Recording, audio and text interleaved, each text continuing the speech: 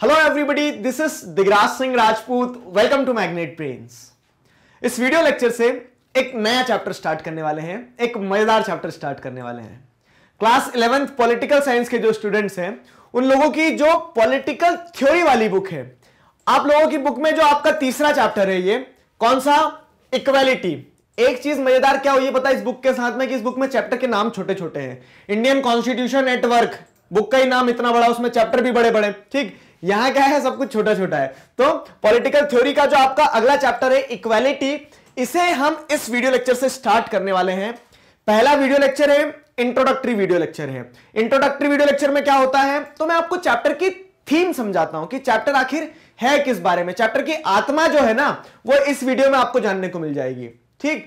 Chapter की theme बताऊँगा, और उसी के साथ साथ ये बताऊँगा कि हम कौन कौन से टॉपिक्स पढ़ेंगे, कैसे हमारा चैप्टर अनफोल्ड होने वाला है।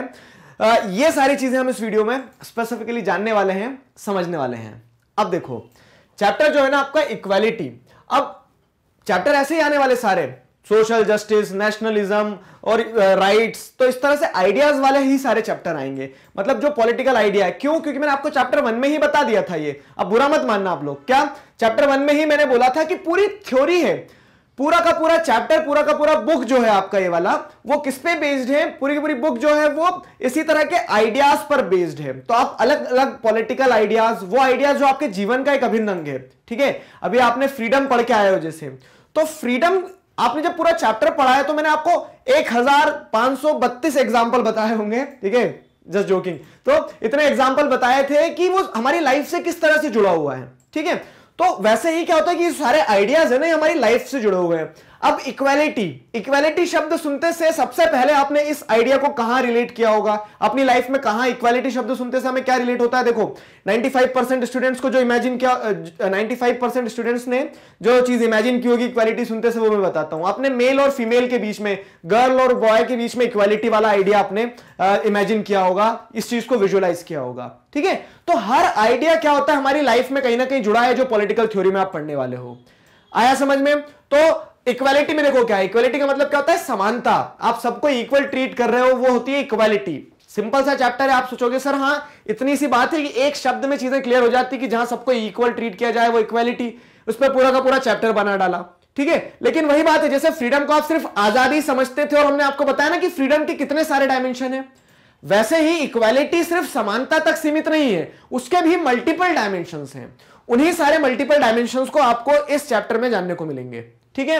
तो इक्वालिटी जो होती है इक्वालिटी को अभी क्या करना है? Relate the concept of equality with freedom एक बहुत अच्छी एक्सरसाइज करेंगे हम, समझना इस चीज़ को। ठीक है? इक्वालिटी का जो आइडिया इक्वालिटी का जो कंसेप्ट है, वो फ्रीडम के साथ जोड़ के देखो। ठीक है? आपने इंडियन कॉन्स्टिट्यूशन एट वर्क वाली बुक पढ़ी है अगर तो उसमें भी ये चीज़ बताई गई है। डॉक्टर बी आर अंबेडकर ने आर्ग्यूमेंट दिया है कि इक्वालिटी कह सकते हैं इक्वेलिटी लिबर्टी और फैटर्निटी जो है, ये अलग अलग आइडिया नहीं है, तीनों आपस में जुड़े हुए हैं। फैटर्निटी को भी एक साइड रखो, हम अगर दो आइडिया की बात करें कि इक्वेलिटी और फ्रीडम कैसे आपस में जुड़ा हुआ है तो समझो बहुत अच्छे से समझना हाँ कंसेप्ट है। इक्वेलिटी और फ्रीडम अलग अलग मत देखो एक एक आँख से मत देखो, दोनों आँख से एक साथ देखो, ठीक है? एक इंसान में जैसे दो आँखें रहती ना तो इक्वेलिटी और फ्रीडम दोनों एक साथ चलना चाहिए। क्या होता है कि A is equal to B B is equal to C और C is equal to D ठीक। अब ये क्या कर दिया आपने? इक्वालिटी तो दे दी है, लेकिन इनको फ्रीडम नहीं दी है। जब आपने इक्वालिटी दे दी है फ्रीडम नहीं दी है तो उसके चलते क्या होगा कि देखो, सारे लोग इक्वल है, लेकिन किसी को आज़ादी नहीं दी गई है तो इससे क्या होगा? इंडिविजुअल इनिशिएटिव खत्म हो जाएँगे। तो equality in the absence of freedom is of no use ठीक है? एक एग्ज़ाम्पल देता हूँ मैं आपको, अभी समझ नहीं आया, मुझे पता है। एक एग्ज़ाम्पल से समझो। कि क्या होता है कि टीचर ने क्या बोल दिया? सब बच्चे समान है, सबको बराबर बराबर नंबर दे देंगे इस एग्ज़ाम में हम, ठीक है? तो सबको हंड्रेड में से क्या कर दिया? सबको ninety five ninety five ninety five दे दिए। अब एक बच्चा जो था, वो बहुत मेहनत करता था, ठीक है? उसने साल भर मेहनत करी, उसने यही सोचा कि उसके हंड्रेड मार्क्स आएँगे। वो टीचर के पास जाता है। क्या बोलता है टीचर से? कि मैंने ज़्यादा मेहनत करी, मुझे ज़्यादा नंबर आना चाहिए। तो टीचर को क्या बोलेगी? नहीं इक्वालिटी है फ्रीडम नहीं है आपको। क्या आपने ज़्यादा मेहनत क्यों करी? ठीक है? तो अगर इक्वालिटी होगी और आप उस चीज़ को फ्रीडम से नहीं जोड़ के देखोगे तो it would kill individual initiative individual initiative खत्म हो जाएँगे. इंडिविजुअल लेवल पे क्या होगा? चीज़ों को मतलब कोई कुछ करना ही नहीं चाहेगा वो सोचेगा सब समान है, बस बात खत्म, आगे क्यों बढ़ना है किसी को? सब समान है, ठीक है? तो आपको फ्रीडम भी देना होगी इक्वालिटी के साथ में. यही तो होता है ना कि हम क्या करते हैं? हम एग्ज़ाम करवाएँगे हम। एग्ज़ाम एकदम फ्री एंड फेयर मैनर में इक्वेलिटी को कंसीडर करते हुए सभी को बराबर मौका देंगे एग्ज़ाम में। लेकिन फिर इंडिविजुअल इनिशिएटिव काम आएगा फ्रीडम के हिसाब से अगर देखोगे तो। जो जितनी मेहनत करेगा वो उतना आगे जाएगा। आए ना समझ में? तो इक्वेलिटी और फ्रीडम साथ में होना चाहिए। हाँ सर, आ गया समझ में। बहुत बढ़िया समझ में आया। ठीक है? अब दूसरा डायमेंशन देखो। अदर वे राउंड अगर हम इस चीज़ को देखते हैं तो फ्रीडम विदाउट इक्वेलिटी मतलब आपको फ्रीडम दे दी है। ए को भी फ्रीडम है बी को भी फ्रीडम है सी को भी फ्रीडम है कि वो अपने अपने हिसाब से चीज़ें करे। तो अगर आप फ्रीडम दे दे रहे हो इक्वेलिटी नहीं दे रहे हो तो भी दिक्कत है। तो क्या दिक्कत है देखो तो फ्रीडम विदाउट इक्वेलिटी उसके चलते क्या होगा? Tyranny of few over the others मतलब कि अब क्या होता है ए जो है वो पावरफुल है। फ्रीडम सबके पास में है। ए पावरफुल है तो उस पावर का इस्तेमाल करते वो क्या होता है? वो उस पावर का इस्तेमाल करके बी को डराएगा सी को डराएगा डी को डराएगा। ठीक है? क्यों? क्योंकि सबको बराबर मतलब इक्वालिटी तो है ही नहीं ना। आप अगर किसी को डरा पा रहे हो, धमका पा रहे हो तो आप डराओ। क्यों? क्योंकि आपको फ्रीडम तो दे दी है। तो liberty without freedom would lead to the domination of few over the others और इसको अदर वे राउंड अगर देखोगे, क्या कि फ्रीडम विदाउट लिबर्टी ठीक है? सॉरी क्या कहेंगे इसको? इक्वालिटी विदाउट लिबर्टी ठीक है? Equality without liberty would kill individual initiative आ गया ना समझ में? तो ये कंसेप्ट था आपकी पॉलिटिकल थ्योरी में भी आपको जानना चाहिए और ये चीज़ मैंने आपको इंडियन कॉन्स्टिट्यूशन एट वर्क में भी बताई है। ठीक है? चलो, अब आगे बढ़ते हैं। तो अभी हमारा चैप्टर क्या है? इक्वालिटी पे बेस्ड है। ठीक है? तो चैप्टर की कोर थीम क्या है पता है? कोर थीम इक्वालिटी ही है। इक्वालिटी का मतलब क्या होता है? बोलोगे, सर, समानता अभी तो बताया आपने। ठीक है? तो मैं आपसे एक सवाल पूछता हूँ सीधा सा। ठीक? कि is treating everyone equally is all about equality क्या समानता का मतलब सिर्फ़ इतना होता है कि आप सबको इक्वली ट्रीट करो? सोचो दो मिनट के लिए। क्या एक आ, कह सकते हैं विजुअली इंपेयर्ड कैंडिडेट जो है ठीक है जो आ, नेत्रहीन है ठीक है जो देख नहीं पाता है आप उस इंसान को और एक ऐसे इंसान को जो अपनी आँखों से सब कुछ देख सकता है ठीक है तो उन दोनों इंसान को आप इक्वली ट्रीट करोगे तो ये जस्टिसिएबल रहेगा इसे आप जस्टिफाई कर सकते हो बताओ नहीं कर सकते हो ठीक है तो फिर से एक बार सवाल पे आते हैं कि इक्वालिटी का मतलब तो ये होता है कि सबको समान रूप से देखना लेकिन is treating everyone equally is all about equality नहीं, ठीक है? और यही इसीलिए तो हम क्या कर रहे हैं, इसे चैप्टर के फॉर्मेट में पढ़ रहे हैं कि हमेशा सबको एक समान ट्रीट करना ही इक्वालिटी नहीं होता है। क्यों? क्योंकि जब बात ऐसे आएगी कि कोई विजुअली इंपेयर्ड है, ठीक है, कोई नेत्रहीन है और किसी के पास आँखें हैं, किसी किसी के पास चार आँखें हैं मतलब चश्मा भी लगाया, दो भी है तो क्या होता है कि दोनों में समानता नहीं आ सकती और दोनों को आप इक्वली ट्रीट भी नहीं कर सकते हो। उसे जस्टिफाई नहीं कर पाओगे। तो इस सेंस में क्या होता है? इस सेंस में हमें अलग अलग डायमेंशन देखना होगा, ठीक है? अलग अलग डायमेंशन से देखना होगा कि इक्वालिटी क्या है इनइक्वालिटी क्या है। अब इक्वालिटी जो है तो इक्वालिटी सिर्फ़ एक डायमेंशन से नहीं देखी जाती है। जैसे मैंने आपसे कहा कि आप इक्वालिटी शब्द सुनते से क्या विजुअलाइज करते हो? तो आप बोलोगे, सर मेल और फीमेल के बीच में इनइक्वालिटी होती है। तो ऐसा नहीं कि इनइक्वालिटी और इक्वालिटी की लड़ाई सिर्फ़ मेल और फीमेल तक ही है। उसको आप दूसरे डायमेंशन से देखो, ठीक है? आप देखोगे तो क्या पॉलिटिकल इनइक्वालिटीज भी होती है। पॉलिटिकल इनइक्वालिटीज मतलब क्या कि पॉलिटिकली कुछ ग्रुप जो होते हैं, वो ज़्यादा पावरफुल होते हैं, कुछ ग्रुप नहीं होते हैं। ठीक है? किसी किसी को वोटिंग राइट जैसे पहले स्लेव्स को वोटिंग राइट नहीं थे विमेन को वोटिंग राइट नहीं थे मेल को वोटिंग राइट थे। मेल में भी प्रॉपर्टी मेल जो थे, जिनके पास में प्रॉपर्टी थी, उनको वोटिंग राइट थे। तो इक्वालिटी का कंसेप्ट मेल फीमेल तक नहीं है, उससे ऊपर भी है। इकोनॉमिक इनइक्वालिटी की बात करो तो अमीर और गरीब के बीच में क्या है? असमानताएँ हैं। वहाँ पे समानता की बात की जाना चाहिए। तो इक्वालिटी और अनइक्वालिटी के मल्टीपल डायमेंशन हैं। और इन मल्टीपल डायमेंशन को हम सिस्टमेटिकली वन बाय वन पढ़ते चलेंगे, ठीक है? पूरा चैप्टर उसी बारे में है। तो there are different dimension of equality equality एक इंपॉर्टेंट जैसे जो आप देखोगे आपके चैप्टर के इंट्रोडक्टरी पार्ट में जो लाइन लिखी है ना, कि इक्वालिटी एक ऐसा आइडिया है मतलब जो मॉरली भी और पॉलिटिकली भी दोनों डायमेंशन इंपॉर्टेंट है। समझना? मतलब नैतिकता भी ये बोलती है कि समानता होना चाहिए, ठीक है? मॉरली अगर आप देखोगे चीज़ों को तो मॉरली भी इक्वालिटी एक इंपॉर्टेंट वैल्यू है, और साथ ही साथ पॉलिटिकली तो है ही है, ठीक? तो उस सेंस में इक्वालिटी बहुत मज़ेदार चैप्टर है, बहुत मल्टीपल डायमेंशन है और बहुत बड़ा चैप्टर है। ठीक है? मैं आपसे वादा करता हूँ, इस चैप्टर को अच्छे से पढ़ना, दिल लगा के पढ़ना तो आपको सारी चीज़ें एकदम मक्खन की तरह क्लियर होते चली जाएगी। ठीक? अब देखो, ये तो थीम थी चैप्टर की। क्या क्या टॉपिक्स पढ़ने वाले हैं हम? What we are going to study in this chapter क्या क्या टॉपिक होंगे? देखो, पहला topic why does equality matters चाहिए क्यों इक्वालिटी ठीक है, लड़ रहे हैं। इक्वालिटी की ज़रूरत क्या है आखिर? देखो तो इक्वालिटी की ज़रूरत क्या है वो मैं आपको बताऊँगा। ठीक है? अब इस चैप्टर में आपको क्या जानने को मिलेगा? बहुत सारे फैक्ट शीट है। मतलब एक जो फैक्ट शीट दिए तो उसमें आपको बहुत सारा डेटा जानने को मिलेगा। ठीक है? डेटा किस बारे में? तो fact sheet on global inequalities and economic inequalities in India तो ग्लोबली किस तरह से इनइक्वालिटी छाई हुई है? अब वो इकोनॉमिक इनइक्वालिटी की बात कर लो सोशल इनइक्वालिटी की पॉलिटिकल इनइक्वालिटी की तो ग्लोबल इनइक्वालिटीज क्या है? और आ, इंडिया में इनइक्वालिटीज की किस तरह से इनइक्वालिटी फैली हुई है? तो उसके कुछ डेटा है कुछ फैक्ट्स है। मैदार है ठीक है? मैदार तो नहीं है बड़ा आ, कह सकते हैं दिल दुखाने वाले डेटा है लेकिन वो आँख भी खोल देंगे आपकी ठीक है? तो उससे आपको समझ में आएगा कि इनक्वालिटी कहाँ तक कितनी डीपली रूटेड है सोसाइटी में ठीक?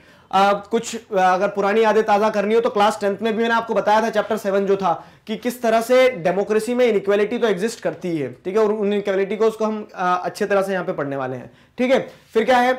अब जैसे ये तो क्या हो जाएगा ये एक तरह से ओपनिंग सेरेमनी टाइप से रहेगा तो ठीक है? तो इससे आपको और इक्वालिटी के बारे में आइडिया मिलेंगे इन दो टॉपिक से फिर यहाँ से चालू होगा जैसे हमारा टॉपिक तो व्हाट इज़ इक्वालिटी ठीक है? तो इक्वालिटी को आप इक्वालिटी एंड अपॉर्चुनिटीज़ के परस्पेक्टिव से देखोगे ठीक है? अब उसमें क्या होता है कि आप इक्वालिटी एंड अपॉर्चुनिटीज़ के परस्पेक्टिव से जब इक्वालिटी को समझने की कोशिश करोगे ना तो एक नया डायमेंशन जो आपको दिखेगा वो दिखेगा नेचुरल और सोशल इनइक्वालिटीज का। अब ये नेचुरल और सोशल इनइक्वालिटीज क्या है, इसे समझना कि कुछ इक्वालिटी है तो इनइक्वालिटी है। मतलब क्या होता है कि दिन होता है तो रात होता है, वही वाली कहानी है यहाँ पे भी। तो जब हम इक्वालिटी की बात कर रहे हैं, और बात क्यों कर रहे हैं इक्वालिटी की? क्योंकि इक्वालिटी नहीं है। जिस इंसान के पास जो चीज़ नहीं होती, वो उस चीज़ की डिमांड करता है, बात करता है। तो इक्वालिटी नहीं है तो क्या है? इनइक्वालिटी है। तो इनइक्वालिटी है तो इनइक्वालिटी कुछ तो नेचुरल है, कुछ सोशल है। जैसे मैं थोड़ा सा, अभी क्या अभी ट्रेलर है, ठीक है? ये ट्रेलर भी नहीं है ट्रीजर है। पिक्चर पूरी बाकी है मेरे दोस्त आगे, ठीक है? लेकिन फिर भी आपको थोड़ा थोड़ा इंट्रोड्यूस करवाते चल रहा हूँ। तो जैसे नेचुरल और सोशल इनइक्वालिटीज की जब बात करते हैं तो कुछ इनइक्वालिटीज तो नेचुरली आ जाती है। कैसे नेचुरली आ जाती है इनइक्वालिटीज तो आप देखेंगे कि अब कोई है जो पैदा होते से किसी के पास दो हाथ नहीं थे तो वो नेचुरल इनइक्वालिटी है, ठीक है? तो वो नेचुरली वो इंसान, उस इंसान से इनइक्वल हो गया, किससे? जिसके पास दोनों हाथ है। ठीक है? लेकिन कुछ इनइक्वालिटीज तो आप सोशली कंस्ट्रक्ट करते हो। सोशली कैसे कंस्ट्रक्ट करते हो? कि लड़कियाँ घर का काम करेगी, लड़के घर का काम नहीं करेंगे। अब ये किस किताब में लिखा है बताओ, ठीक है? ये क्या ये सोशली कंस्ट्रक्टेड इनइक्वालिटीज हैं? इनके बारे में भी पढ़ेंगे हम, ठीक है? इनके बारे में भी पढ़ेंगे। फिर क्या होता है इक्वालिटी के तीन डायमेंशन मैंने आपको बताया ना स्टार्टिंग में इक्वालिटी जो है उसको तीन डायमेंशन से देखा जा सकता है। इक्वालिटी सिर्फ़ लड़का लड़की के बीच में समानता तक सीमित नहीं है। उसे आप पॉलिटिकल सोशल और इकोनॉमिक डायमेंशन पे देखना। तो पॉलिटिकल सोशल इकोनॉमिक डायमेंशन पे हम इक्वालिटी को देखेंगे। ठीक? ये चैप्टर अगर कोई ऐसे बच्चे हैं जो सिक्स क्लास में है, या फिर कोई ऐसे बच्चे जिन्होंने साइंस ले लिया लेकिन टाइम पास करना था तो वीडियो लेक्चर देख रहे हैं, ठीक है? तो मैं आपसे ये रिक्वेस्ट करूँगा कि आप पूरा देखना। क्योंकि ये लाइफ को समझाता है ये चैप्टर ठीक है? अपार्ट फ्रॉम दैट कि मार्क्स आएँगे, नहीं आएँगे सिलेबस में है, नहीं है, लेकिन इस चैप्टर को पढ़ना ज़रूर, ठीक? आपको लाइफ के मल्टीपल डायमेंशन समझ में आएँगे। और मेरा बस चले एजुकेशन मिनिस्टर बन जाओ, मैं सबको पॉलिटिकल थ्योरी पढ़वा दूँगा, ठीक है? चलो तो अब यहाँ पे हम दूसरी चीज़ अगर देखें तो ये तीन डायमेंशन देखोगे आप इक्वालिटी के, साथ ही साथ में आइडियोलॉजीज हाँ जी, ये फेवरेट पार्ट आइडियोलॉजीज जैसे आपने पिछले चैप्टर में क्या पढ़ के आए लिबरलिज्म एक आइडियोलॉजी को पढ़ के आए हो, ठीक है? और मैंने आपको बताया भी कि ये आइडियोलॉजीज आपका बेस बनाती है तो हम इसमें आइडियोलॉजीज और पढ़ेंगे। फेमिनिज्म के बारे में पढ़ेंगे, ठीक है? मार्क्सिज्म लिबरलिज्म सोशलिज्म के बारे में पढ़ेंगे। अभी बच्चों के मन में डाउट रहता है कि मार्क्सिज्म और सोशलिज्म में क्या डिफरेंस है। तो ये जो छोटी छोटी बातें, मगर मोटी मोटी बातें हैं ना, वो सारा सब कुछ हम कवर करेंगे इस पूरे के पूरे चैप्टर में। अब how can we promote equality अब जब मैंने बताया कि इनइक्वालिटीज तो एग्जिस्ट करती है तो इनइक्वालिटीज को खत्म करके हम इक्वालिटी को कैसे प्रमोट कर सकते हैं? सवाल ये बनता है। तो कैसे बाय स्टैब्लिशिंग फॉर्मल इक्वालिटी ठीक है? इक्वालिटी का ई गायब कर दिया। ठीक? तो यहाँ पे क्या है? By establishing formal equality formally आप इक्वालिटी को स्टैब्लिश करो और उस तरह से आप क्या कर सकते हो? इक्वालिटी को प्रमोट कर सकते हो। ठीक है? इक्वालिटी थ्रू डिफरेंशियल ट्रीटमेंट आप डिफरेंशियल ट्रीटमेंट देके भी इक्वालिटी को स्टैब्लिश कर सकते हो। डिफरेंशियल ट्रीटमेंट क्या होता है? तो डिफरेंशियल ट्रीटमेंट में जैसे अगर हम समझे चीज़ों को तो डिफरेंशियल ट्रीटमेंट में रिजर्वेशन देना। ठीक है? जो डिप्राइव्ड है, जैसे शेड्यूल कास्ट शेड्यूल ट्राइब के जो लोग हैं तो उन्हें रिजर्वेशन दे देना। ये क्या हो गया? इक्वालिटी थ्रू डिफरेंशियल ट्रीटमेंट मतलब आप अलग अलग तरह से ट्रीट कर रहे हो। और एक और इक्वालिटी लाने का तरीका क्या है? अफर्मेटिव एक्शन मतलब गवर्नमेंट कुछ सकारात्मक स्टेप्स ले, ठीक है? एक्शन ले। अब हाँ एक डाउट यह होगा मन में कि दोनों में डिफरेंस क्या है? तो वही वाली बात है ट्रेलर में पूरी कहानी थोड़ी बताई जाती है। तो अभी आप जब इन सारे टॉपिक्स को पढ़ोगे सिस्टमेटिकली एक सीढ़ी, दूसरी सीढ़ी, तीसरी, क्रिश थोड़ी ना हो आप, कि सीधे एकदम छलांग लगा के चले जाओगे छत पे, ठीक है? तो एक एक सीढ़ी चलते चलेंगे हम और सारी चीज़ें सिस्टमेटिकली समझ में आ जाएगी। आया समझ में बच्चों? ठीक है? So this was all about this video lecture मैंने आपको चैप्टर की थीम समझाई है और ये बताया कि चैप्टर में हम कौन कौन से टॉपिक्स पढ़ने वाले हैं। अब क्या है तो नेक्स्ट वीडियो से हम वन बाय वन अनफोल्ड करते चले जाएँगे सारे टॉपिक को इन डिटेल क्लियर हुआ? आशा करता हूँ यहाँ तक चीज़ें समझ में इस वीडियो में हम क्या पढ़ने वाले हैं? इस वीडियो में हम पढ़ेंगे why does equality matters important topic है कनेक्ट करो सबसे पहले। पिछले वीडियो में हमने आपको एक बेसिक थीम बताई थी चैप्टर की, कि चैप्टर किस बारे में है। चैप्टर की थीम क्या है? मतलब इक्वालिटी जो है तो किस तरह का आइडिया है, वो मैंने आपको समझाया था। मैंने आपको डायमेंशन दिखा दिए थे वहाँ पे कि इक्वालिटी सिर्फ़ समानता नहीं है, उसके मल्टीपल डायमेंशन है, जिन्हें हम चैप्टर में सब्सिक्वेंटली पढ़ते जाएँगे। तो अगर हम अब बात करते हैं कि वाई डस इक्वालिटी मैटर्स सवाल ये आता है कि, सर, वो तो सब ठीक है, अपनी जगह है। इक्वालिटी मायने क्यों रखती है? पढ़ो ही मत ना। मतलब इक्वालिटी मायने नहीं रखेगी। सब अपने अपने हिसाब से जिन्हें दो सबको। हमें पढ़ना नहीं पड़ेगा, सिलेबस कम हो जाएगा। ठीक है? तो ऐसा नहीं है। इक्वालिटी की अपनी इतनी सिग्निफिकेंस क्यों है, वो हम देखते हैं कि इक्वालिटी क्यों जानना, पढ़ना, समझना ज़रूरी है। इस चीज़ को समझो। तो equality is considered as a important as a powerful moral and political right. Equality moral और पॉलिटिकल राइट की तरह देखा जाता है। मॉरल और पॉलिटिकल राइट की तरह कैसे देखा जाता है? तो इक्वालिटी को एक ऐसा आइडिया एक ऐसा आइडियल माना जाता है that has inspired and guided human society for many centuries समानता की जब आप बात करते हो आप तो हर धर्म यही कहता है कि क्या होना चाहिए? समानता होना चाहिए। हम एनिमल्स और ह्यूमंस में समानता की बात करते हैं। तो इस तरह से हज़ारों सालों से हम देखें, अगर तो ह्यूमन बींग्स जो है human beings are being inspired by the idea of equality जैसे क्या होता है कि आपको मैं कहानी सुनाता हूँ, चलो हिस्ट्री की। ठीक है तो अब जैसे अर्ली ह्यूमंस जो रहे होंगे तो जब हम क्या कह सकते हैं कि एप से हम क्या हो गए होंगे ह्यूमन बींग बन गए होंगे तो उस समय पर जब हमने सोसाइटी में रहना चालू किया होगा, ठीक है तो मेल भी होंगे, फीमेल भी होंगे, चिल्ड्रन भी होंगे तो हम, ऐसा नहीं था कि वहाँ पे मेल डोमिनेटेड सोसाइटी थी, फीमेल को इन्फीरियर कंसीडर किया जाता था जेंडर के बेसिस पे इनइक्वालिटी थी, ऐसा कुछ नहीं था, सबको इक्वली कंसिडर किया जाता था, ठीक है, लेकिन over the period of time चीज़ें कैसे बदली? Over the period of time चीज़ें ऐसे बदली कि जो मेल्स थे तो क्या होता गया फैमिली एज ए इंस्टीट्यूशन बना मेल पेट्रियाकल सोसाइटी को स्टैब्लिश कर दिया गया, जहाँ पे मेल डोमिनेशन स्टैब्लिश हो गई, ठीक है? फिर क्या हो गया कि कुछ लोगों के पास ज़्यादा प्रोडक्शन होने लगा फ़ूड ग्रेन्स वगैरह का, जब हमने खेती करना चालू की होगी। तो वो लोग रिच हो गए, कुछ लोग पुअर रह गए। तो ऐसे धीरे धीरे इनक्वालिटी आती चलेगी। लेकिन लेकिन हम जब बात करते हैं लिविंग बीइंग की तो चाहे वो एक कुत्ता हो, चाहे वो कह सकते हैं गाय हो, चाहे वो कह सकते हैं कि एक शेर हो, हम हर चीज़ को क्या मानने लगे कि इसमें जान है तो ये इसमें भी मतलब इसको इक्वलिटी के साथ देखा जाएगा कि जैसे उसकी लाइफ है, वैसे मेरी लाइफ है, जैसे मेरी लाइफ है वैसे इसकी लाइफ है। तो इस तरह से क्या है कि इक्वालिटी का जो आइडिया रहा है, वो एक मॉरल आइडिया रहा है नैतिकता में जुड़ा हुआ है हमारी, ठीक है? ऐसा नहीं कि पॉलिटिकली इंपोज किया गया है कि यूनिवर्सल अडल्ट फ्रेंचाइजी है और इस कारण इक्वालिटी है। वो पॉलिटिकल राइट right तो बाद में आया, लेकिन पहले ह्यूमन बींग्स या फिर ह्यूमन ओरिजिन के साथ में इक्वालिटी एक इंपॉर्टेंट मॉरल आइडिया के रूप में रहा कि समानताएँ होना चाहिए सब में, ठीक है? हर इंसान, चाहे वो अमीर हो, गरीब हो, सब बराबर होना चाहिए। जिस, जितनी, जितना जैसा खून अमीर का होता है वैसे ही गरीब का भी होता है। ऐसे नहीं कि अमीर के खून में क्या बोलते हैं कलर दूसरे हो जाते हैं। ठीक है? तो वो एक मॉरल आइडिया की तरह कंसिडर किया गया इक्वालिटी को। साथ ही साथ में इक्वालिटी को एक पॉलिटिकल आइडिया भी माना जाता है। पॉलिटिकल आइडिया कैसे? तो इक्वालिटी को एक आइडिया कंसिडर किया जाता है। Idea that all human beings have an equal worth regardless of their colour gender race और नेशनैलिटी तो अब ये आइडिया जो है या फिर ये जो डेफिनेशन रही है पॉलिटिकल आइडिया के फॉर्म में जो डेफिनेशन रही है इक्वालिटी की, वो किस तरह से क्राफ्ट की गई है, उसे समझो। वो इस तरह से क्राफ्ट की गई है कि इक्वालिटी जो होती है ना तो इक्वालिटी कैस, देखो इक्वालिटी है, इसका मतलब क्या इनइक्वालिटी हम इक्वालिटी की बात क्यों कर रहे हैं? क्योंकि कहीं ना कहीं इनइक्वालिटी एग्जिस्ट करती है। तो जब अलग अलग जगह पे कलर के बेसिस पे जेंडर के बेसिस पे रेस के बेसिस पे नेशनैलिटी के बेसिस पे अनजस्ट ट्रीटमेंट होने लगा, लोगों के बीच में भेदभाव होने लगा तब क्या होता है कि थिंकर्स को समझ में आया, जैसे भी आपको समझ में आएगा, यहाँ पे फ्रेंच रेवोल्यूशन से कनेक्ट करेंगे हम टॉपिक को। तो जब थिंकर्स को ये समझ में आया कि हमें क्या करना होगा, हमें इंडिविजुअल्स के राइट्स की रक्षा करना होगी, और उसके लिए क्या है कि सबसे पहली चीज़ तो क्या आ जाएगी कि हमें सभी को इक्वल मानना होगा ना। तो इक्वलिटी को एक पॉलिटिकल राइट की तरह कैसे देखा गया कि सारे इंडिविजुअल्स जो हैं irrespective regardless of their colour gender race nationality everybody is equal इस पॉइंट ऑफ़ व्यू से जब देखा गया तो क्या समझ में आया? इस पॉइंट ऑफ़ व्यू से जब देखा गया तो ये समझ में आया कि इक्वालिटी जो होना चाहिए, वो एक पॉलिटिकल राइट के रूप में भी होना चाहिए। ठीक है? तो in the modern period the equality of all human being has been use as a rallying slogan तो आज क्या है? आज मॉडर्न पीरियड में अगर आप जैसे देखोगे तो हर इंडिविजुअल को इक्वली ट्रीट किया जाए, इसे एक रेलिंग स्लोगन की तरह यूज़ किया जाता है। ठीक है? लोगों में समानताएँ हो उस समानता की बात की जाती है। और ये समा, मतलब ये बात ऐसा नहीं है कि रातों रात होने लगी कि लोगों ने ऐसा लगा कि यार कल से समानता होना चाहिए। और समानता क्यों होना चाहिए? किसके बीच में होना चाहिए? ठीक है? मतलब आप इक्वालिटी की डिमांड कर रहे हो तो इनइक्वालिटी कहाँ है? ये भी तो बताओ। ठीक है? इक्वालिटी की डिमांड कर रहे हो मतलब कहीं पे तो इनइक्वालिटी है। तो वो कहीं पे इनइक्वालिटी कहाँ है? वो समझते हैं हम। तो जैसे आपको थोड़ा सा अगर फ्लैशबैक में ले जाए तो फ्रेंच रेवोल्यूशन जो हुआ तो वहाँ पे फ्रेंच रेवोल्यूशन में लोगों ने क्या देखा?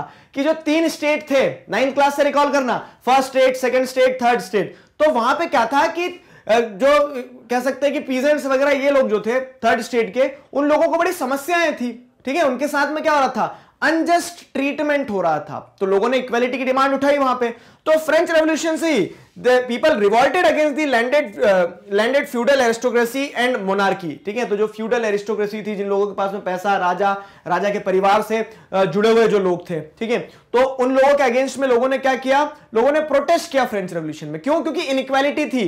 और किस चीज़ के लिए प्रोटेस्ट किया? तो लिबर्टी इक्वालिटी एंड फैटर्निटी तो मैंने आपको लिबर्टी फ्रीडम वाली चीज़ें पिछले चैप्टर में पढ़ के आए हम। ठीक है तो ये कोर आइडियाज़ फ्रेंच रेवोल्यूशन से निकल के आए ध्यान रखना फ्रेंच रेवोल्यूशन को तीन वर्ड में समराइज करने को अगर पूछा जाए तो आँख बंद करके, ठीक है, मुँह खोल के क्या बोलना होगा? Liberty equality and fraternity that's it ठीक? तो लिबर्टी इक्वलिटी फर्टिनिटी ये जो आइडियाज़ निकल के आए ना तो ये फ्रेंच रेवोल्यूशन से, से आइडिया निकल के आए और ये लाइफ के हर स्फेयर में जुड़े हुए हैं। ठीक? इक्वालिटी के लिए जो स्ट्रगल रहा है तो वो सिर्फ़ फ्रांस तक सीमित नहीं रहा है। जैसे अगर आप देखोगे तो in Asia and Africa people demanded for equality ठीक है? People demand demanded for equality demand for equality was also raise during anti colonial liberation struggles अब जैसे आप अगर एशिया की बात करते हो, एशिया में वियतनाम हो गया, ठीक है, एशिया में इंडिया हो गया तो ये ऐसे देश रहे जहाँ पे कॉलोनियल रूल रहा है, ठीक?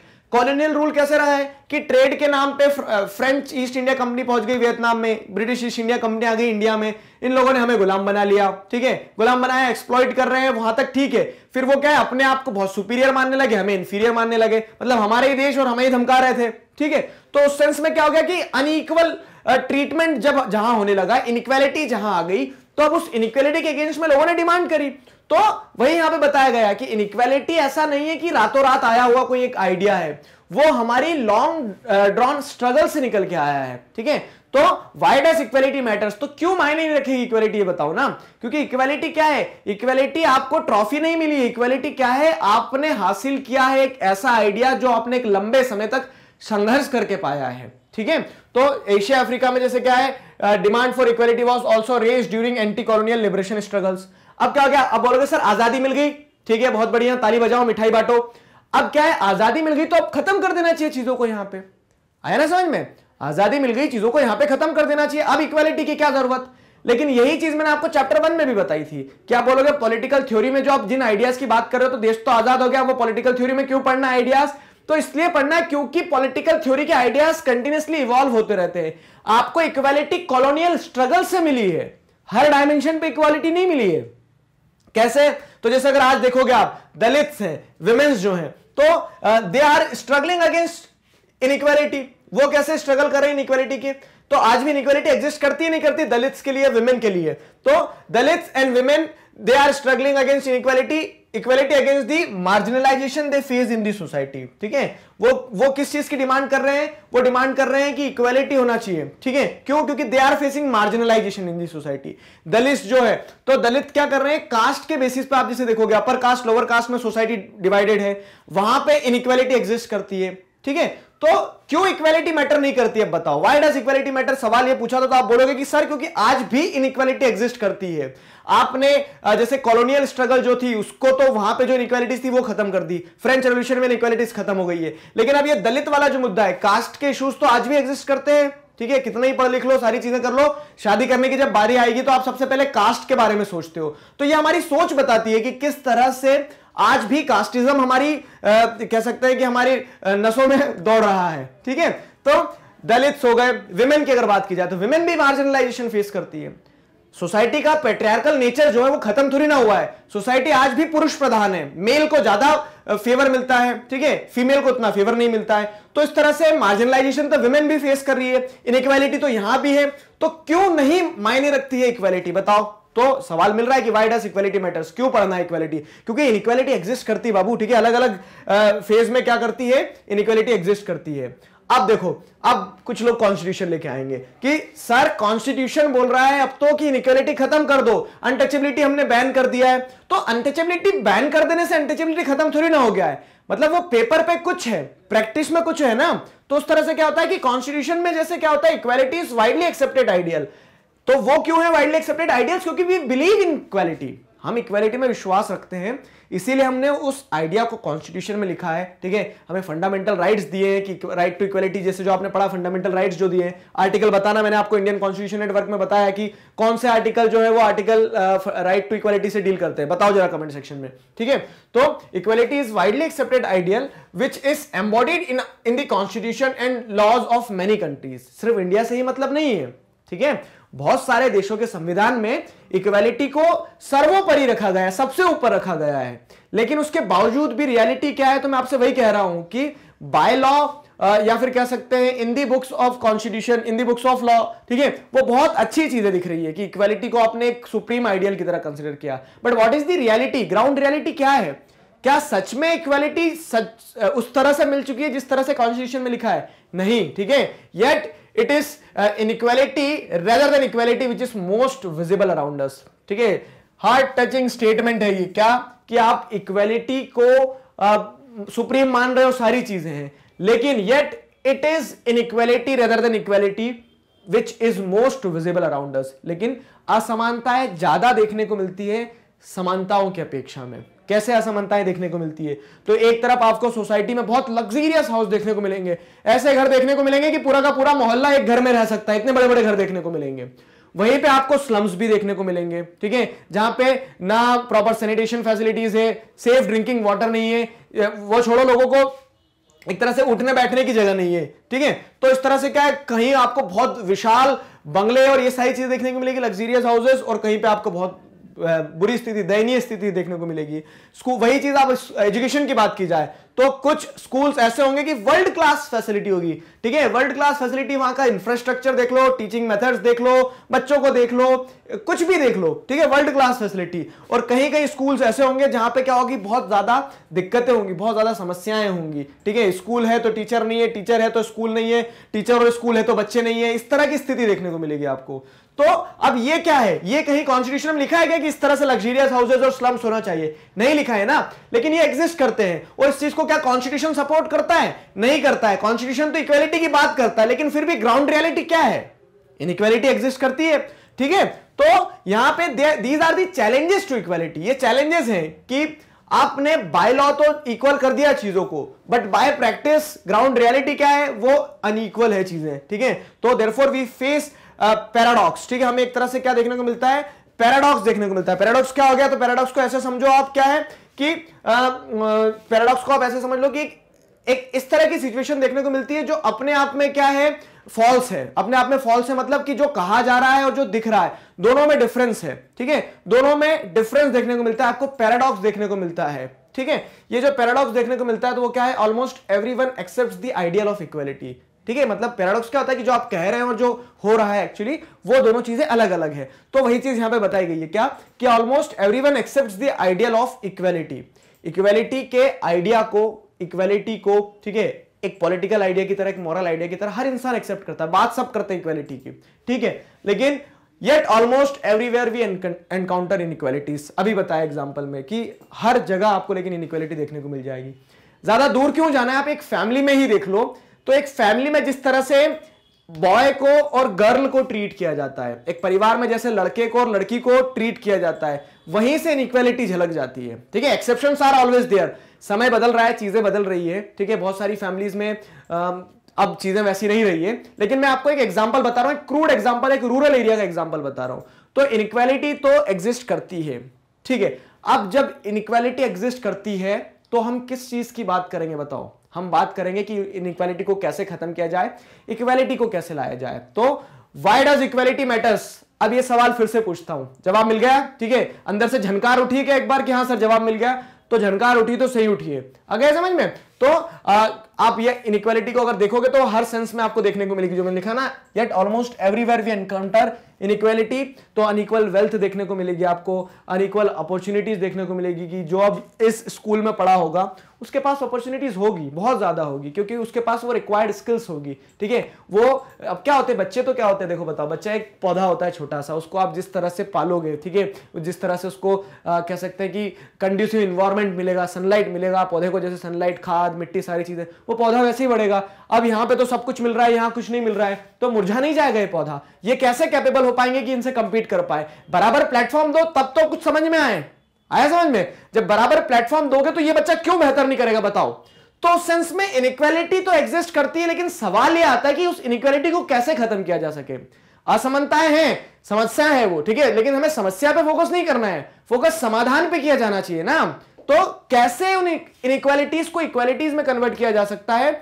वो मैटर ऑफ़ डिस्कशन है, ठीक है? तो ये पैराडॉक्स ज़रूर है, लेकिन इस पैराडॉक्स को ऊपर कैसे आना है? क्वेश्चन यही उठता है कि आप कैसे इस पैराडॉक्स से ऊपर आओगे, ठीक है? Should be should be should be we concern about inequality ठीक है? भी नहीं आएगा यहाँ पे। Should be concern about inequalities क्या हमें सोचना चाहिए? ठीक है? कि इनइक्वालिटीज है तो सही है या गलत है? बिल्कुल। ओपनली बोलो कि गलत है इनइक्वालिटीज उन्हें समानताओं में बदलना होगा। ठीक है? Are they are permanent and inevitable feature of social life कुछ लोग ये मान लेते कि नहीं, अमीरी और गरीबी तो रहेगी। गरीब गरीबी रहेंगे, अमीर अमीरी भी रहेंगे। ठीक है? विमेन और मेन के बीच में जो डिफरेंसेस हैं, वो वैसे ही रहना चाहिए। विमेन सबॉर्डिनेट ही होना चाहिए मेन जो है वो सुपीरियर ही होना चाहिए। तो ये क्या इनएविटेबल है? क्या इसे बदला नहीं जा सकता है? बदला जा सकता है। हम ये नहीं बोल रहे कि आप विमेन को सुपीरियर बना दो। बाकी दोनों को इक्वल प्लेटफॉर्म तो मिलना चाहिए ना। रिच और पुअर तो ऐसा नहीं कि रिच और पुअर जो है तो आ, सभी को बराबर एक एक पैसे का हिसाब बराबर होना चाहिए। लेकिन सबको मिनिमम स्टैंडर्ड ऑफ़ लिविंग तो मिले ना कम से कम।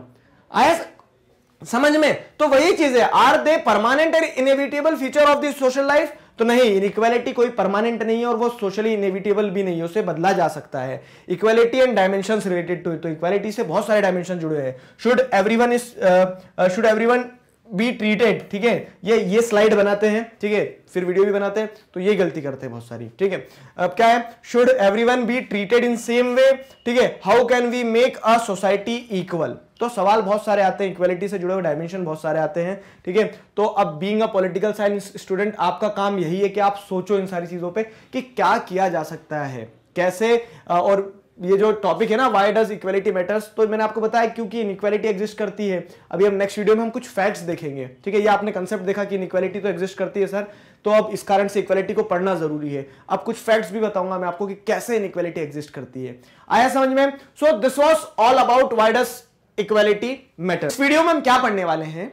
इस वीडियो में हम पढ़ेंगे global inequalities and economic inequalities in India देखो, दो इश्यूज़ हैं ग्लोबल इनइक्वालिटीज और इकोनॉमिक इनइक्वालिटीज इंडिया दोनों को सेपरेटली डील करने की जगह हम दोनों जो टेबल है, जो डेटा है, उसे एक साथ पढ़ने वाले हैं। थोड़ा सा कनेक्ट करते हैं टॉपिक को। पिछले वीडियो में हमने आपको क्या बताया था? हमने ये सवाल था एक हमारे सामने पिछले वीडियो में, क्या? कि वाई डस इक्वालिटी मैटर्स तो सवाल का जवाब जाना। कि इनइक्वालिटी एग्जिस्ट करती है, इसलिए इक्वालिटी मैटर करती है। असमानताएँ हैं, तभी हम समानता की बात करते हैं। ठीक है? अब हमें क्या देखना है? अब हमें देखना है कि वो असमानताएँ जो है, जो इनइक्वालिटीज है तो वो ग्लोबल लेवल पे कैसी है? इंडिया में अगर आप जैसे देखोगे तो इंडिया में कैसी इकोनॉमिक इनइक्वालिटीज एग्जिस्ट करती है? वो सारी चीज़ें मैं आपको यहाँ बताने वाला हूँ, कुछ फैक्ट्स बताने वाला हूँ। ये जो कॉम्पिटिव की तैयारी कर रहे हैं, सुनो। ठीक है? पेन तैयार रखना अपने, जो कॉम्पिटिव की तैयारी कर रहे हैं, आप इन्हें लिख सकते हो अपने आंसर में। आंसर राइटिंग में आपके आंसर में अगर आपको वज़न बढ़ाना है, ठीक है, बिना मिलावट के तो ये वज़न बढ़ाने का अच्छा तरीका मतलब आपके पास में सॉलिड फैक्ट्स रहेंगे, ठीक है? देखो क्या है तो किस तरह से इनक्वालिटी एग्जिस्ट करती है? The richest 50 individuals in world have a combined income greater than that of the poorest 40 crore people मतलब वैसे तो सब कुछ क्या है, यहाँ पे डेटा आप पढ़ के भी समझ सकते हो खुद से, लेकिन मैं आपको एक पर्सपेक्टिव और दे दूँगा, ठीक है? तो उस कारण हम क्या करते हैं, इसको वीडियो लेक्चर के फॉर्मेट में ले लेते बाकी पढ़ के भी समझ आ जाएगा आपको। टाइम कम है तो नेक्स्ट वीडियो पे कूद जाओ डायरेक्ट ठीक है? चलो देखो आगे क्या है। तो the richest fifty individuals in the world have a combined income greater than that of the poorest forty crore people जो गरीब 40 करोड़ लोग हैं हमारे वर्ल्ड में, ठीक है? उनके पास जितना पैसा है जितनी वेल्थ है ना उतनी सिर्फ़ 50 लोगों के पास है ठीक है? रिचेस्ट 50 परसेंट के पास में उतनी वेल्थ है। मतलब एक तराजू में आप 50 लोगों को बिठाओ एक तराजू में आप 40 करोड़ लोगों को बिठाओ तब वेल्थ बराबर होगी। इनक्वालिटी एग्जिस्ट करती नहीं करती बताओ।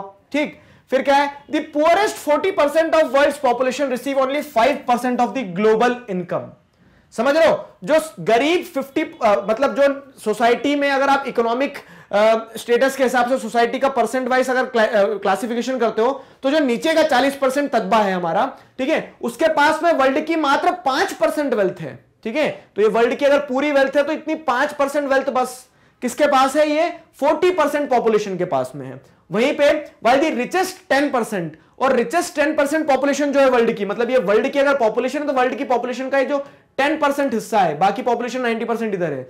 तो 10 परसेंट वर्ल्ड की पॉपुलेशन के पास में ये जो वर्ल्ड की वेल्थ है, ये वेल्थ वाला हिस्सा हो गया। तो वर्ल्ड की वेल्थ का 54 परसेंट हिस्सा है। 54 परसेंट हिस्सा है। ठीक है? तो इतना हिस्सा जो है वेल्थ का, ये मात्र 10 परसेंट लोग, इतने से लोग लेके बैठे हैं। इनइक्वालिटी एग्जिस्ट करती है। ठीक है? The first world of the advance industrial countries ठीक है? यहाँ पे क्या हो जाएगा? The first world of the advance industrial countries मतलब क्या है कि जो वेस्टर्न कंट्रीज़ हो गई यूरोप की, अमेरिका, ठीक है? तो ये जो कंट्रीज़ है the first world of advance industrial countries mainly North America and Western Europe with 25 percent of world population तो ये जो एरिया इनके पास, ये जो एरिया है इस एरिया में वर्ल्ड की पॉपुलेशन 25 परसेंट ही है, ठीक है? और लेकिन वेल्थ कितनी पता है? Owns 86 percent of the world industry world की जितनी भी इंडस्ट्री है तो ये 25 परसेंट लोग 86 परसेंट इंडस्ट्रीज़ को ओन करके बैठे हैं। अब इकोनॉमिक इनइक्वालिटीज को समझो कि 25 परसेंट लोगों के पास बेशुमार पैसा है इंडस्ट्रीज़ है प्रोडक्शन कर रहे हैं, वो पैसा कमा रहे हैं। बाकी लोग क्या करेंगे? बाकी से, जो बचे हुए 75 है तो उनके पास अगर जैसे देखोगे प्रपोर्शन में तो 14 परसेंट इंडस्ट्रीज़ ही रह गई है। ठीक है? And consumes 80 percent of the energy और यही 25 परसेंट लोग जो है तो वर्ल्ड की 80 परसेंट एनर्जी को कंज्यूम कर ले रहे हैं। एनर्जी वेस्ट भी कर रहे हैं। इनइक्वालिटी एग्जिस्ट करती है। जब इकोनॉमिक इनइक्वालिटीज होती है तो वो इकोनॉमिक इनइक्वालिटीज लोगों के स्टैंडर्ड ऑफ़ लिविंग में देखने को मिलती है। तो आप वेस्टर्न कंट्री में देख लो लोगों की स्टैंडर्ड ऑफ़ लिविंग और फिर आप जैसे आप देखोगे कहाँ पे साउथ ईस्ट एशियन कंट्रीज़ में देखोगे तो वहाँ पे population standard of living diseases हर हर चीज़ की समस्या। आया समझ में? आगे देखो क्या है।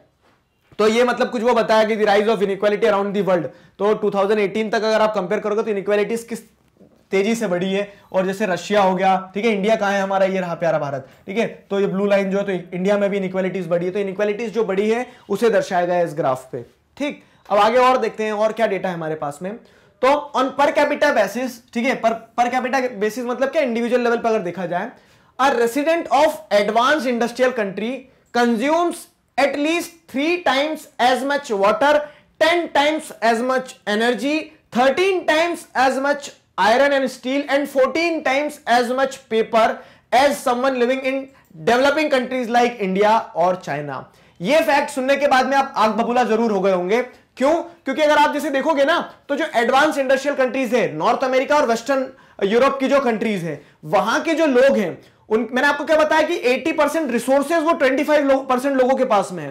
तो वहाँ के जो लोग हैं वो क्या कर रहे हैं? रिसोर्सेज को एक तरह से कह सकते हैं अंधाधुन वेस्ट कर रहे हैं। ठीक है? तो वही बताया गया है कि three times as much water मतलब इंडिया में हम जितना पानी बचा बचा के फिर भी जो वेस्ट करते हैं ना हम तो हमसे तीन गुना ज़्यादा पानी वेस्ट कर रहे हैं वो लोग। ठीक है? वो क्या कर रहे हैं? Ten times as much energy तो energy in terms of electricity और ये सारी चीज़ें टेन टाइम्स हमसे ज़्यादा वेस्ट कर रहे हैं कंज्यूम कर रहे हैं, जो भी कहना कह सकते हो। Thirteen times as much iron and steel and fourteen times as much paper as someone living in developing countries like India in China ठीक है? So you might be thinking like ये वेस्टर्न वर्ल्ड जो है तो western world कुछ इस तरह से रिएक्ट कर रहा है। ठीक है?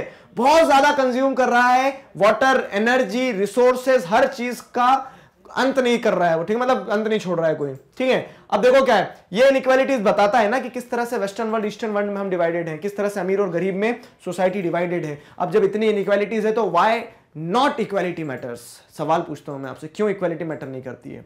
आगे देखो क्या है। The risk of dying from pregnancy related causes is one to eighteen in Nigeria हर अठारह में से एक महिला के जान जाने की रिस्क रहती है कहाँ पे? नाइजीरिया में है। जो अफ्रीकन नेशन है तो उनमें वहाँ पे क्या है कि आप देख सकते हो कि इनक्वालिटी किस टर्म्स में एग्जिस्ट करती है? मेडिकल फैसिलिटीज़ के टर्म्स में। तो मतलब वहाँ महिलाएँ जो है, उनकी डेथ हो जाती है। और वहीं पे अगर कंपेयर करोगे इसे वेस्टर्न कंट्री से तो वो क्या है? But one is to eight thousand seven hundred समझ रहे हो? देखो one is to eighteen proportion देखो, हर अठारह में से एक महिला रिस्क पर रहती है। प्रेगनेंसी के टाइम पे नाइजीरिया में उसकी जान जा सकती है। लेस डेवलपिंग कंट्री है, या फिर कह सकते हैं लीस्ट डेवलप्ड कंट्रीज़ की कैटेगरी में आता है। वही चीज़ अगर आप कंपेयर करोगे कनाडा से तो कनाडा जो वेस्टर्न वर्ल्ड है, ठीक है तो वहाँ पे one is to eight thousand seven hundred मतलब आठ हज़ार सात सौ महिलाओं में कहीं एक महिला की जान रिस्क पर रहती है प्रेगनेंसी से डेथ होने की। तो आप ये कंट्रास्टिंग डिफरेंसेस देख सकते हो और समझ सकते हो कि कितनी इनइक्वालिटीज एग्जिस्ट करती है।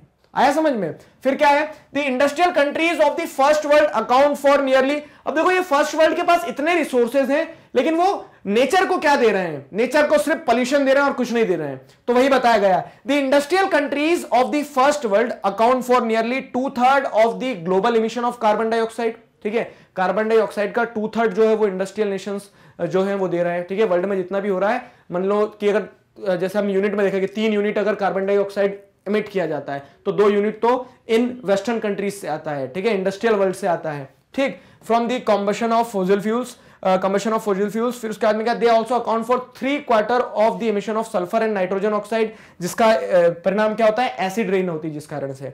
Many industries known for their high rate of population are being shifted from the developed countries to less least less developed countries ठीक है? और जो कंट्रीज़ बहुत ज़्यादा पॉल्यूशन कर रही थी तो उनको वहाँ से भगाया गया वेस्टर्न वर्ल्ड से। तो भाग के कहा आई? लेस डेवलप्ड कंट्रीज़ में। यहाँ पॉल्यूशन करेंगे, यहाँ की गवर्नमेंट तो हमें भगा भी नहीं पाएगी।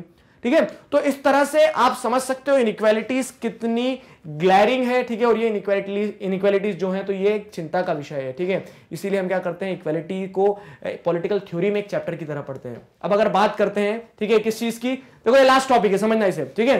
अगर हम बात करते किसकी ये तो हो गया ग्लोबल इनइक्वालिटीज अब हम बात करते हैं economic inequalities in India India में क्या स्थिति है सर थोड़ा सा उस पर भी प्रकाश डालो। तो जरा देखते हैं। Census of India held in 2011 about household amenities and assets मतलब जैसे जो घरेलू उपयोग में जो एम्यूनिटीज होती है ना, अब क्या सेफ़ ड्रिंकिंग वाटर हो गया इलेक्ट्रिसिटी हो गया तो आप घर में जब रहते हो, जंगल में तो रहते नहीं आज हम, ठीक है? घर में जब हम रहते हैं तो ये सारी बेसिक एम्यूनिटीज हैं। तो इन बेसिक एम्यूनिटीज की क्या पोजीशन है, क्या सिचुएशन है इंडिया में, वो बताया गया है। Census of India held in 2011 about household amenities and assets तो क्या है? देखो, ये सारी एम्यूनिटीज की बात की जाती है। Electricity connection tap water in the house bathroom in house television scooter moped motorcycle जो भी लेना हो। ठीक है? कार जीप वैन तो इन पैरामीटर्स पे अगर देखा जाए, ये बेसिक नेसेसिटी है, ठीक है? और इसमें से एक दो हटा भी देंगे टेलीविज़न नहीं भी होगा तो भी इंसान ज़िंदा रह सकता है, ठीक है? बाकी ये कुछ बेसिक नेसेसिटीज हैं। तो ये बताती है कि इंडिया में क्या सिचुएशन है? हम कंपेयर करेंगे रूरल एरियाज़ में और अर्बन एरियाज़ में।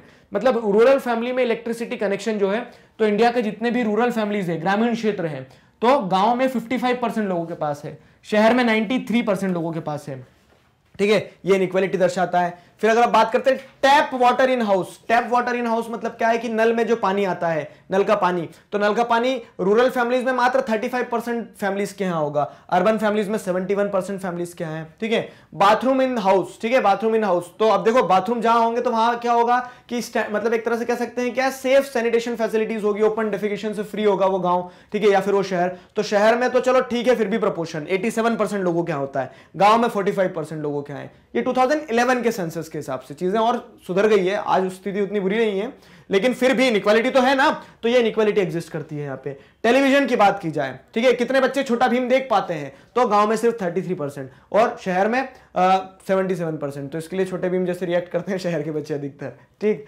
तो डोंट फील ऑफेंडेड बाकी मैं आपको फैक्ट बता रहा हूँ कि इनक्वालिटीज जो है, ये मतलब ये लाइफ का कंफर्ट है ना, एक एम्यूनिटी जो एक हाउस होल्ड एम्यूनिटीज की कैटेगरी में आ जाता है तो वहाँ पे क्या है इनक्वालिटी एग्जिस्ट करती है? फिर क्या है? स्कूटर, मोपेड, मोटरसाइकिल की अगर बात करते हो आप तो स्कूटर, मोपेड, मोटरसाइकिल की अगर बात करते हो तो वो अर्बन फैमिलीज़ में 35 परसेंट लोगों के हैं रूरल फैमिलीज़ में 14 परसेंट क्या है, ठीक है?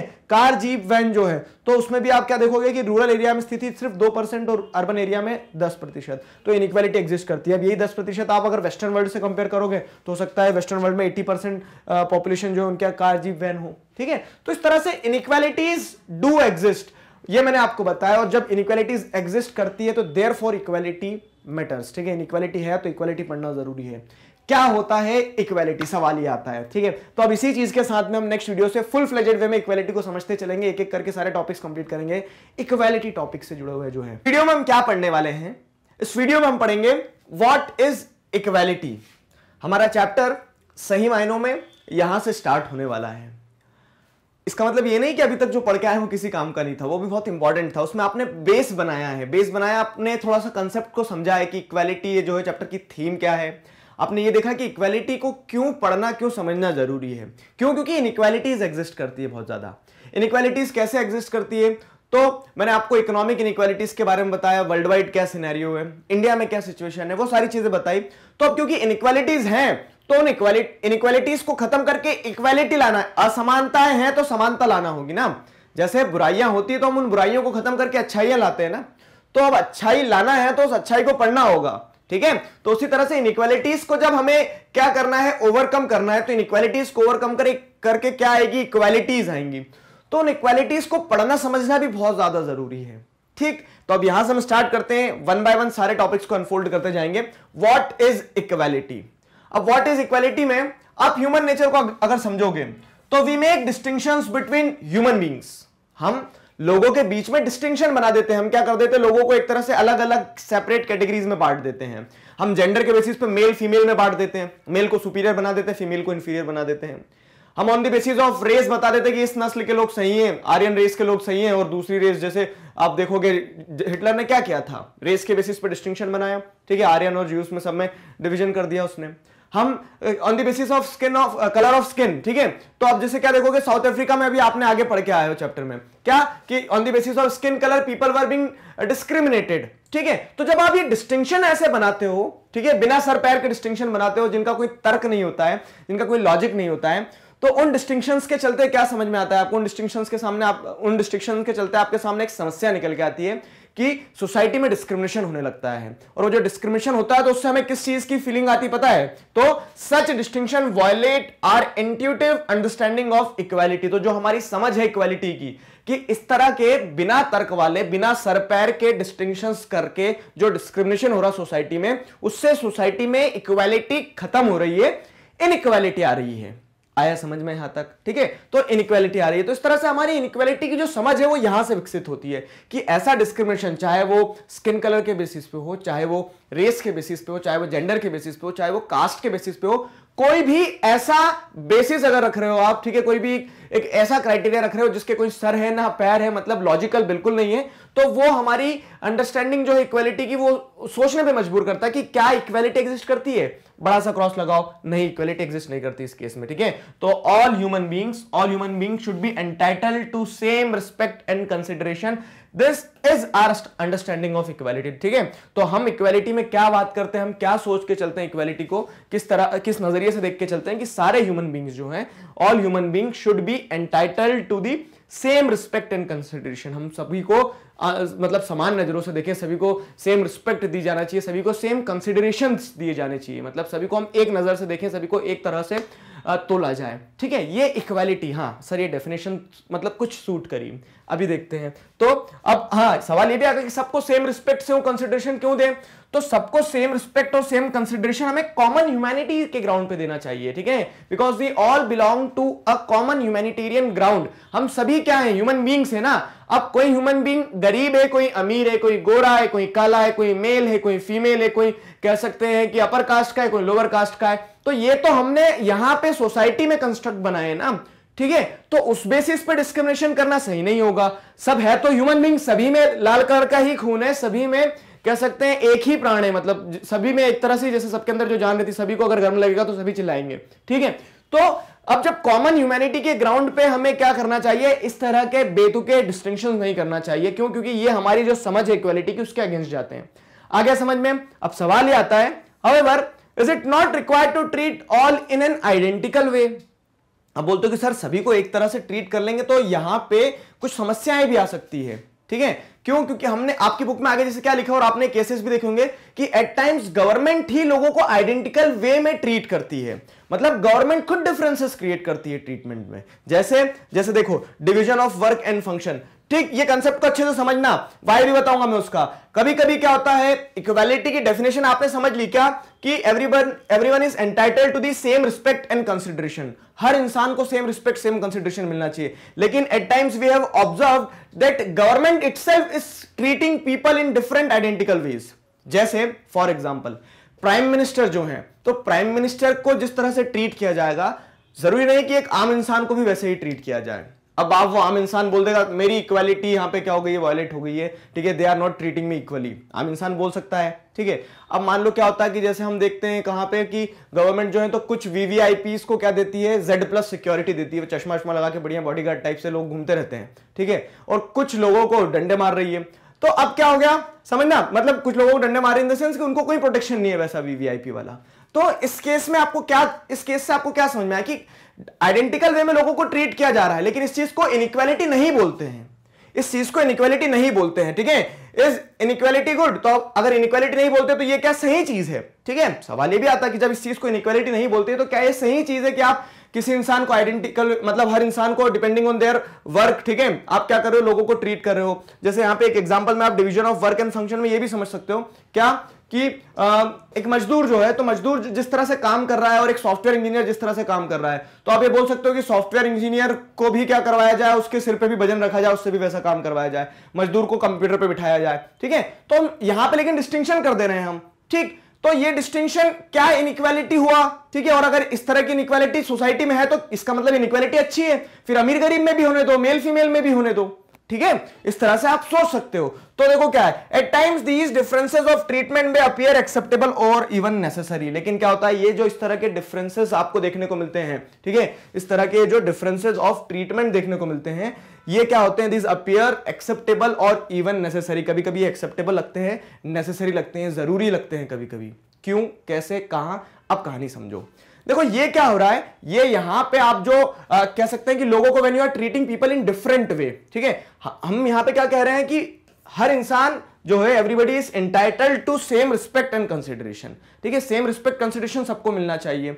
अब रिस्पेक्ट की जब बात की जा रही तो जो आत्मसम्मान है ठीक है? जो डिग्निटी है वो उस कॉमन मैन की भी होगी प्राइम मिनिस्टर की भी होगी। हम उसे हर्ट नहीं कर रहे हैं।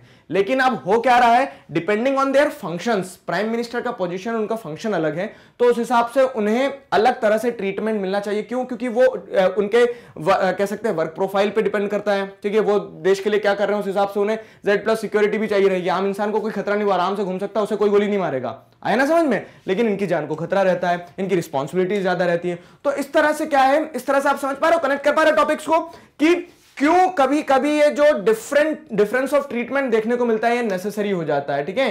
अब तो ये आया ना समझ में आप पे, आपको यहाँ पे not all kind of inequalities are good लेकिन इनइक्वालिटीज अपने आप में सही नहीं होती है। तो जो सवाल पूछा था ना कि इज़ इनइक्वालिटी गुड तो इनइक्वालिटी सही नहीं होती है। लेकिन आप जब लोगों को डिफरेंट वे में ट्रीट करते हो ठीक है? डिपेंडिंग ऑन देयर वर्क और their functions at times it is required ठीक है? सिचुएशन के हिसाब से वो चीज़ें चालू रह, ज़रूरी रहती है लेकिन हमेशा इनइक्वालिटीज सही नहीं होती है ठीक है? सम इनइक्वालिटीज में सीम अनजस्ट कुछ इनइक्वालिटीज जो होती है वो अनजस्ट होती है। अब यहाँ पे एक शब्द ध्यान रख लो। Inequalities which can be justified ठीक है? Are just inequalities which cannot be justified are unjust ठीक है? जस्टिफाइड मतलब आप जिसका एक्सप्लेनेशन दे सकते हो। जैसे फॉर एग्ज़ाम्पल हम आपको बताते हैं। जैसे आपने वही बताया मैंने आपको कि आप प्राइम मिनिस्टर को अलग पावर्स हैं प्राइम मिनिस्टर के आजू बाजू जो उनको फैसिलिटीज़ मिल रही है वो अलग है। ठीक है, एक कॉमन मैन को अलग है। तो अब ये जो इनक्वालिटीज देखने को मिल रही है आपको, ये जस्टिफाई की जा सकती है, क्योंकि ये जो इंसान है पी फॉर प्राइम मिनिस्टर इनकी पावर्स इनकी रिस्पॉन्सिबिलिटीज इनकी फ़ंक्शंस जो है, वो एक अलग लेवल पे है। इसके लिए उन्हें अलग ट्रीटमेंट मिल रहा है। कॉमन मैन की पावर फ़ंक्शन और रिस्पॉन्सिबिलिटीज अलग लेवल पे है। उनकी फैमिली तक रिस्पॉन्सिबिलिटी होती है तो उस कारण से उन्हें ट्रीटमेंट अलग मिल रहा है। ये जस्टिफाई कर सकते हो आप। लेकिन जो इनक्वालिटीज को जस्टिफाइड नहीं किया जा सकता है, जैसे क्या जस्टिफाई नहीं किया जा सकता? गरीब का बच्चा इसके लिए इसको पढ़ाओ मत या अमीर का बच्चा इसके लिए इसको पढ़ाओ। ठीक है? अब ये किस तरह से जस्टिफाइड करोगे बताओ। ठीक है? सोच लो दो मिनट। आप इसको कभी जस्टिफाई नहीं कर सकते कि वो गरीब घर में पैदा हुआ इसलिए वो पढ़ नहीं सकता है, वो अमीर घर में पैदा हुआ इसलिए उसे ही पढ़ना होगा। ये कहीं से कहीं तक जस्टिफाई नहीं किया जा सकता इस चीज़ को। तो इस तरह की इनइक्वालिटी क्या है? इस तरह की इनइक्वालिटी अनजस्ट है, ये सही नहीं होती है। तो not all kind of inequalities are good ठीक है? Some inequalities may seem unjust for example child born in poor family what is his her fault in it अगर कोई गरीब परिवार में पैदा हुआ तो उसमें उसकी गलती नहीं है, ठीक है? उसे आप अगर अनजस्ट तरह से इनइक्वल वे में ट्रीट करोगे तो वो क्या हो जाएगा? वो इनइक्वालिटी कहलाएगी, बहुत बड़ी इनइक्वालिटी कहलाएगी। आगे समझ में? तो अब देखो इक्वालिटी के डायमेंशन दिखा रहा हूँ मैं। नो डाउट इक्वालिटी में आप जब बात करते हो तो everyone is entitled to everyone is entitled to the same respect and consideration हर हर इंसान को सेम नज़रों से देखा जाना चाहिए when it comes to his dignity is self respect लेकिन अब हर इंडिविजुअल के पावर फ़ंक्शन अलग होते हैं तो उस हिसाब से क्या होता है? कभी कभी depending on the nature of work and function difference of treatment can be observe and can be given by government also लेकिन इसका मतलब ये नहीं कि इनइक्वालिटी सही होती, क्यों? क्योंकि जो इनइक्वालिटीज अनजस्ट होती है, उन्हें कहीं से कहीं तक सपोर्ट नहीं किया जाना चाहिए। वो इनइक्वालिटीज के अगेंस्ट में इक्वालिटी के लिए आवाज़ उठाई जाना चाहिए। ठीक है? अभी आपकी कंडीशन कुछ ऐसी होगी, सर यार कंफ्यूज मत करो, कभी बोलते इनइक्वालिटी नहीं होना चाहिए, कभी बोलते इनइक्वालिटी होना चाहिए। तो फिर से एक बार समझो कि इनइक्वालिटी जो जस्टिफाइड है, ठीक है? वो इनइक्वालिटी क्या एक तरह से क्या कह सकते हैं कि वो सिचुएशन पर डिपेंड करती है और वो सोसाइटी में एग्जिस्ट करती है, उसे इनइक्वालिटी नहीं बोलोगे, वो डिफरेंसेस होते हैं, ठीक है? And differences can differences never divides us समझना इस चीज़ को? It is not our differences that divides us it's our inability to celebrate them हम उन डिफरेंसेस को एंजॉय नहीं कर पाते, इस कारण हम डिवाइड हो जाते हैं। बाकी डिफरेंसेस तो होना चाहिए डाइवर्सिटी जो होगी, तभी तो लाइफ में अलग अलग कलर देखने को मिलेंगे। आए ना? समझ में? तो उस तरह से क्या है कि सम इनइक्वालिटीज में भी सीम मे सीम जस्ट जैसे सॉरी मे सीम अनजस्ट ठीक है? और उन्हें हमें क्या करना चाहिए? नेग्लेक्ट करना चाहिए। अब देखो, सवाल ये आता है कि which distinctions and differences are acceptable and which are not मतलब वही वाली बात आ गई क्या अनजस्ट होता है, क्या अनजस्ट नहीं होता है, ठीक है? तो कौन से डिस्टिंक्शन कौन से डिफरेंसेस एक्सेप्ट किया जाना चाहिए, कौन से नहीं किया जाना चाहिए? तो देखो इनक्वालिटीज जो होती है inequalities on the basis of gender religion race caste ये बेतुकी है मतलब इनके पीछे कोई तर्क नहीं है। तो इस तरह की इनइक्वालिटीज को आप रिजेक्ट करोगे ठीक है? जो इनइक्वालिटीज किस चीज़ पे बेस्ड होती है? जेंडर रिलीजन कास्ट इन सारी चीज़ों पे। और inequalities in the form of ambition and goals मतलब आप मान लो कि आपके एम्बिशन ऐसे हैं कि आपको आ, क्या करना है? आपके एम्बिशन ऐसे आपको कलेक्टर बनना है ज़िले का ठीक है? और आप बन गए। कॉन्ग्रेचुलेशन मिठाई पहुँचा देना। तो अब क्या है? आप और एक कह सकते हैं ज़िले का जो आम नागरिक है, उसके बीच में और आपके बीच में डिफरेंसेस होंगे। आपकी जो फैसिलिटीज़ आपको जो ट्रीटमेंट मिलेगा, वैसा उसको नहीं मिलेगा ट्रीटमेंट ठीक है? लेकिन क्या इस तरह के डिफरेंस को आप इनक्वालिटी कहोगे? नहीं। क्यों? क्योंकि आपके एंबिशन आपके गोल के हिसाब से आप वहाँ पे हो। और एक इंसान अगर वहाँ तक नहीं पहुँच पाया तो उसके एम्बिशन उसके गोल कुछ और होंगे, ठीक है? अब जैसे ट्वेल्थ क्लास तक आप सब बराबर थे ट्वेल्थ क्लास के बाद में अब क्या होगा कि कोई डॉक्टर बन जाएगा, ठीक है? कोई इंजीनियर बन जाएगा, कोई कलेक्टर बन जाएगा तो सब अलग, कोई स्पोर्ट्समैन बन जाएगा, कोई पॉलिटिशियन बन जाएगा, ठीक है? कोई अपनी दुकान पर बैठेगा। तो इसका मतलब ये नहीं कि आपके बीच में इनइक्वालिटी हो गई है। आया समझ में? वो जो डिफरेंसेस हैं those differences depend on your ambition and goals तो उस तरह के जो डिफरेंसेस उस तरह के जो डिस्टिंक्शन हैं, वो एक्सेप्टेबल है। ठीक है? और कौन से नहीं एक्सेप्टेबल होते हैं? जैसे इनइक्वालिटीज जो बेस्ड होती है किस पे? जेंडर रिलीजन रेस कास्ट पे वो एक्सेप्टेबल नहीं होते हैं। आया ना समझ में? कंसेप्ट क्लियर होना चाहिए, ठीक है? आँखों में सितारे झमकना चाहिए इस तरह से कि हाँ सर आ गया समझ में। ठीक है? तो इनक्वालिटी का हमने अभी तक दो डायमेंशन देखा कि इनइक्वालिटी अपने आप में गलत है और इक्वालिटी क्या होती है? जब आप हर इंसान को इक्वल कंसिडरेशन दे रहे हो इक्वल रिस्पेक्ट दे रहे हो when it comes to his self respect और डिग्निटी वो इक्वालिटी होती है। लेकिन at times we observe that depending on the work and function differences exist there ठीक है? डिफरेंसेज ऑफ़ ट्रीटमेंट में अपियर एक्सेप्टेबल ये एक्सेप्टेबल लगते हैं, ठीक है? तो वो वो डिफरेंसेस जो होते हैं, वो इनक्वालिटी नहीं कहलाते हैं। और हर इनक्वालिटी सही नहीं होती है अनइक्वालिटी जो जस्ट होती है उस इनइक्वालिटी को कहीं से कहीं तक एक्सेप्ट नहीं किया जाना चाहिए, ठीक है? तो ऐसी इनइक्वालिटीज जो जेंडर रिलीजन कास्ट इन सारी चीज़ों पे बेस्ड रहती है, वो एक्सेप्ट नहीं की जानी चाहिए। और ऐसी इनइक्वालिटीज जो एंबिशन और गोल के बेसिस पर ओरिजिनेट होती है, वो एक्सेप्टेबल होती है सोसाइटी में। तो कंफ्यूजन खत्म करो डेफिनेशन अच्छे से समझ के जाओ, ठीक है? क्या है? The commitment to the ideal of equality does not imply the elimination of all form of differences हर तरह का डिफरेंस इनइक्वालिटी नहीं होता है, ठीक है? और जब आप इक्वालिटी के आइडिया की टुवर्ड्स कमिटेड हो तो उसका मतलब ये नहीं कि आपकी सोसाइटी में डिफरेंसेस नहीं होंगे। एंबिशन और गोल के हिसाब से डिफरेंसेस होंगे, ठीक है? तो it does not imply the elimination of all forms of differences it merely suggest it merely suggest that the treatment we receive and the opportunities we enjoy, ठीक है, must not be predefined by birth or social circumstances, ठीक है? What a classical definition, ठीक है? मज़ेदार definition है। ना समझ में कि differences होंगे equality की जब आप बात करोगे। लेकिन आपको किस चीज़ पे ध्यान देना है कि डिफरेंसेस जो हो, वो प्री डिटरमाइंड ना हो by the basis of birth और सोशल सर्कमस्टांसेस ठीक है, वो मेल है फीमेल है, इस कारण डिफरेंसेस है। वो नहीं होना चाहिए, वो गरीब है, अमीर है, इस कारण डिफरेंसेस नहीं होना चाहिए। हाँ वो इंजीनियर है, वो डॉक्टर है, वो कारपेंटर है, या फिर वो कह सकते हैं कि बार्बर है, वो कुछ भी हो तो वो उनके एम्बिशन उनके गोल के हिसाब से डिफरेंसेस आए हैं, ठीक है? तो वो डिफरेंसेस एक्सेप्टेबल है, वो इनइक्वालिटी का मतलब उसका मतलब इनइक्वालिटी नहीं होता है। आगे हम क्या पढ़ने वाले हैं? इस वीडियो में हम पढ़ेंगे equality of opportunities topic important है, अच्छे से समझना। पिछले वीडियो में मैंने आपको क्या बताया?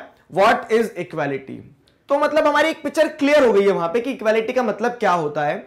आपने ये समझ लिया कि इक्वालिटी का मतलब ये होता है कि इनइक्वालिटी एग्जिस्ट कर सकती है। कंफ्यूज ठीक है, अभी और क्लियरिटी पे लाते हैं इसको, देखो। तो ये जो टॉपिक है ना, इसको समझो। इक्वालिटी का मतलब ये होता है कि इक्वालिटी ऑफ़ अपॉर्चुनिटी होना चाहिए। अब उस इक्वल प्लेटफॉर्म को अपॉर्चुनिटी के इक्वल प्लेटफॉर्म को जहाँ पे इक्वालिटी है, उसे यूज़ करने के बाद में हर इंसान अलग अलग मंजिल पर पहुँच जाएगा। तो वो मंजिलें देखने में अनइक्वल लगेगी, ठीक है? लेकिन वो इनइक्वालिटी नहीं कहलाएगी।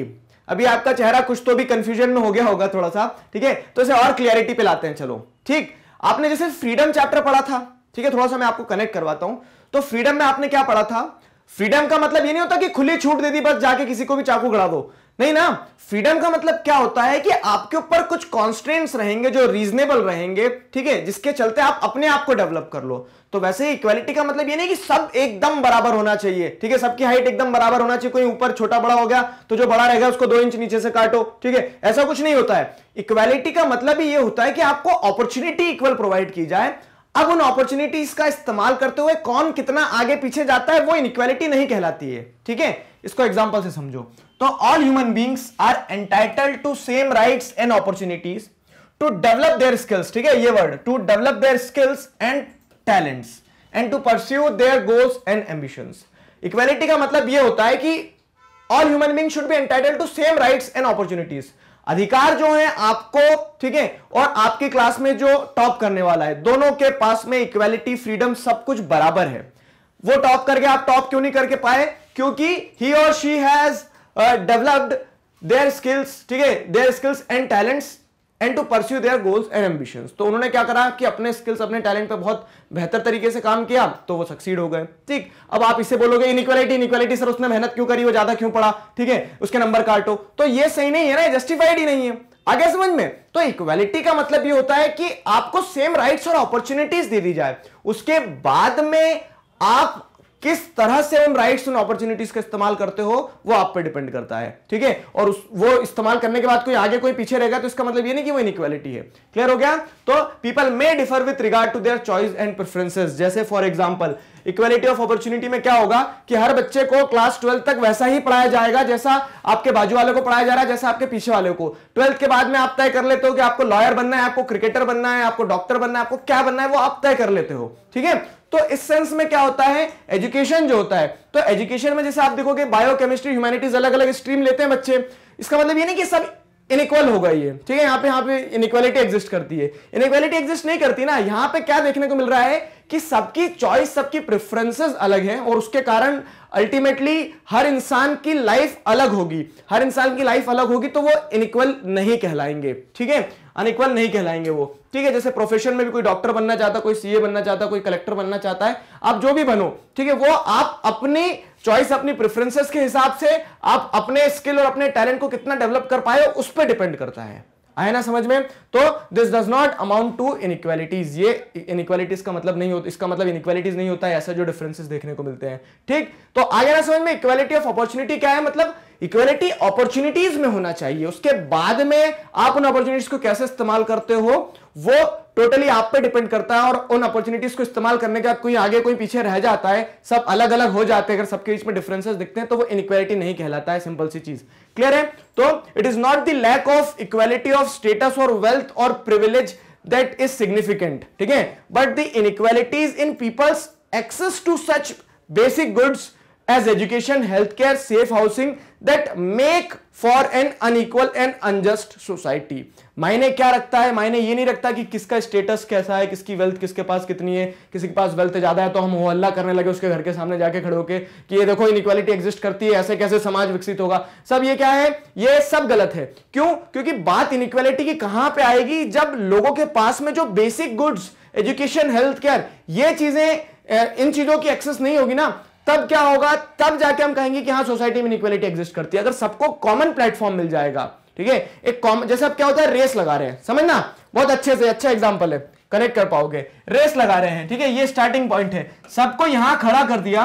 ठीक है? तो ये इक्वालिटी है, सबको एक ही जगह खड़ा कर दिया। अब जब वो गन शॉट की जाएगी और फिर दौड़ेंगे सब तो कोई आगे निकल जाता है, कोई पीछे निकल जाता है और एक जीतता है, दूसरा नहीं जीत पाता है। तो जो नहीं जीते, वो क्या चिल्ला चौट करेंगे क्या कि नहीं नहीं इनइक्वालिटी इनइक्वालिटी है। अगर हाँ यहाँ पे ये इंसान को यहाँ से दौड़ाते हैं अपन, ठीक है?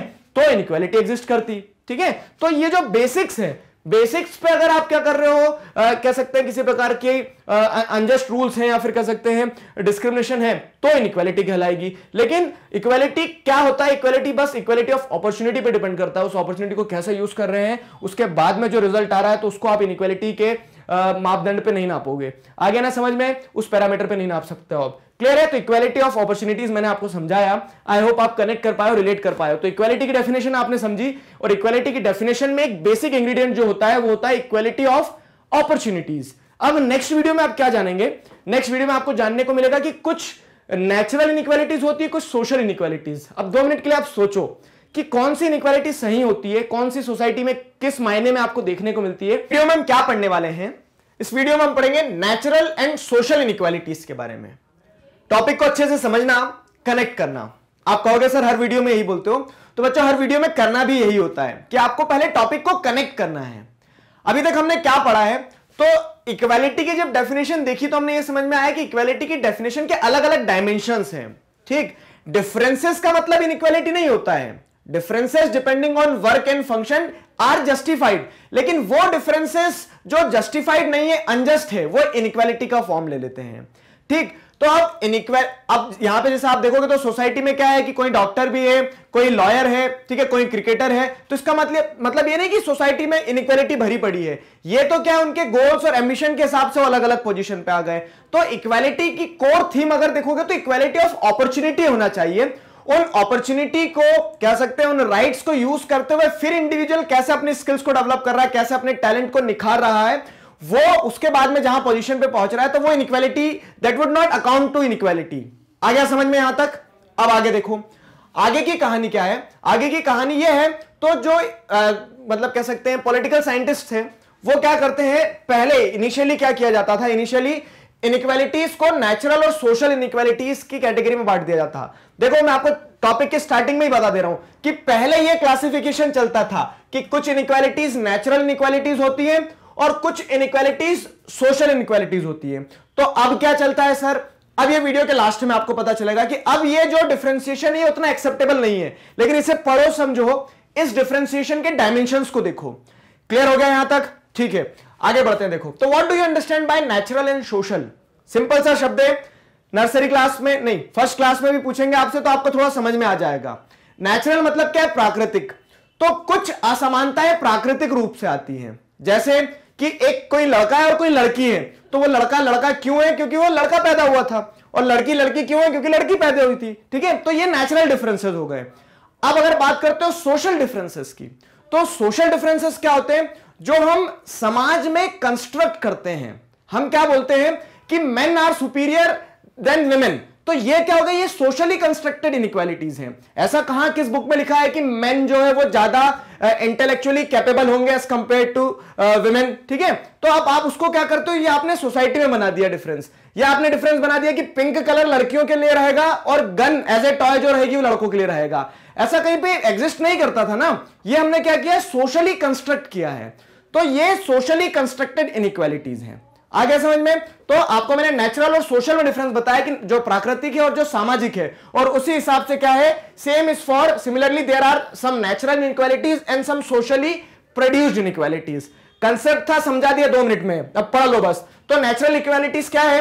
Natural inequalities are result of different capabilities and talents of a person different capabilities and talents of a person मतलब जैसे मेल और फीमेल में डिस्टिंक्शन होता है वो नेचुरली होता है ठीक है? तो अब क्या हो गया? एक ये डिफरेंस हो गया नेचुरल डिफरेंस का या फिर इसे नेचुरल इनइक्वालिटी कह लो आप। आगे इसका डायमेंशन और दिखाऊँगा एक। फिर आप जैसे देख लो क्या है कि कोई आ, क्या कह सकते हैं विजुअली इंपेयर्ड है ठीक है? कोई पैदा ही ऐसा हुआ था नेत्रहीन ठीक है? और किसी के पास दोनों आँखें अपनी वो देख रहा है दुनिया। तो वो भी क्या है? वो this is the result of different capabilities and talents of person ठीक है? तो अलग अलग कैपेबिलिटीज अलग अलग टैलेंट के हिसाब से डिफरेंसेस जो क्रिएट हुए ठीक है? ये हो गया।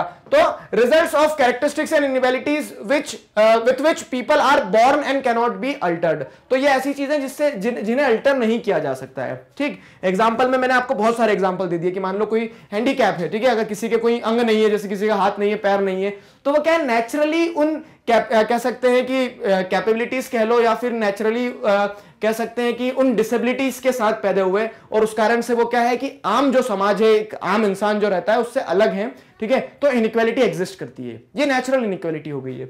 अब दूसरा क्या है?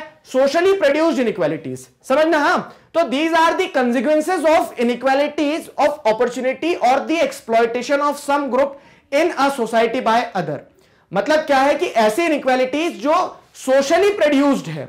सोशली प्रोड्यूस्ड है मतलब क्या है? जैसे हम देखेंगे, समझना एक एग्ज़ाम्पल अच्छा और देता हूँ, कि एक अमीर है और एक गरीब है। अब क्या है? तो लोग ये सोच रहे हैं कि चोरी हुई है तो चोरी हुई है तो किसने की होगी? गरीब ने की होगी। तो हम ये क्या मान के चल रहे हैं? सोसाइटी ऐसा मान रही है कि गरीब है तो चोरी करेगा वो, ठीक है? तो वो इनइक्वालिटीज अब हुआ नहीं होगा, लेकिन हम क्या प्रिज्यूम कर ले रहे हैं? इसने चोरी करी होगी। क्यों? क्योंकि ये ऐसी इनइक्वालिटी आपने कंस्ट्रक्ट कर ली है जो सोसाइटी ने सोचा और बनाया। जैसे मेल और फीमेल का है। कि हम क्या मान के चलते हैं कि नेचुरली मेल जो है तो मेल मेल जो होते हैं मस्कुलिन होते हैं, ठीक है, पैदा हुए हैं मेल बॉडी में तो वो क्या होगा मस्कुलिन होगा, उसके अंदर फ़िज़िकल कैपेबिलिटीज ज़्यादा होगी एज कंपेयर टू फीमेल इसका मतलब ये नहीं कि वो मेल हर मामलों में सुपीरियर होगा। जैसे आपकी बुक में जो बहुत अच्छा कार्टून दिया है। क्या कार्टून दिया है कि male are more masculine than female therefore therefore they are superior ठीक है? वो जो बच्चा है, लड़का वो ऐसा बोलता है। लेकिन फिर वो उधर से फीमेल बच्ची जो है, वो क्या आर्ग्यूमेंट देती है कि क्लास में तो हमेशा मैं फ़र्स्ट आती हूँ तो फिर सुपीरियर तुम कैसे बन गए? ठीक है? तो सिर्फ़ मस्कुलिनिटी से कोई सुपीरियर नहीं हो जाता है ना? वो चीज़ यहाँ पे दर्शाई गई है। तो ये जो लेकिन हम सोसाइटी तो यही मान के चलती है कि पेट्रियार्कल सोसाइटी है मेल जो है वो डोमिनेट करेंगे।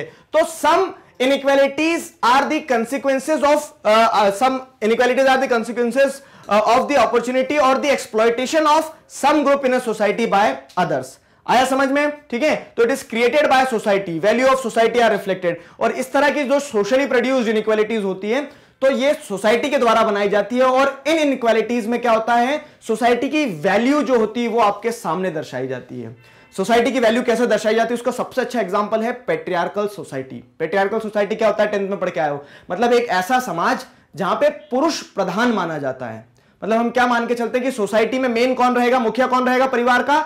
मेल रहना चाहिए, ठीक है? ऐसा क्यों है? क्योंकि सोसाइटी ने वो कंस्ट्रक्ट बना दिया, ठीक है? It is created by the society तो socially produced inequalities are created by the society those inequalities are the value of society ठीक है? ठीक है? और these type of inequalities reflect the value of society ऐसा समझ सकते हो आप। एग्ज़ाम्पल बहुत सारे दे दिए। क्लियर हो गया ना दोनों? नेचुरल और सोशल इनइक्वालिटीज में, या फिर नेचुरल और सोशली प्रोड्यूस्ड इनइक्वालिटीज में? अब आते हैं मेन मुद्दे पे। मेन मुद्दा क्या है हमारा? देखो तो the distinction natural and social help us to distinguish between acceptable and unfair inequalities ठीक है? अब जैसे हमने आपको पिछले वीडियो में क्या बताया था कि कुछ इनइक्वालिटीज एक्सेप्टेबल होती है और कुछ इनइक्वालिटीज एक्सेप्टेबल नहीं होती है। तो अब क्या बोलते हैं हमने कि यार, कुछ जो नेचुरल इनइक्वालिटीज हैं, ठीक है? नेचुरल इनइक्वालिटीज जैसे क्या होती है कि किसी इंसान के दोनों हाथ नहीं है, वो नेचुरली ही बिना हाथों के पैदा हुआ था तो वो आर्मी में कैसे जाएगा? ठीक है? वो आर्मी में कैसे जाएगा? तो हमने क्या डिस्टिंक्शन कर दिया कि आर्मी में जो इंसान जाएगा उसको मतलब पूरे दोनों हाथ पैर पूरा शरीर से आ, मतलब कह सकते हैं संपन्न होना चाहिए पूरे शरीर से अपने ठीक है?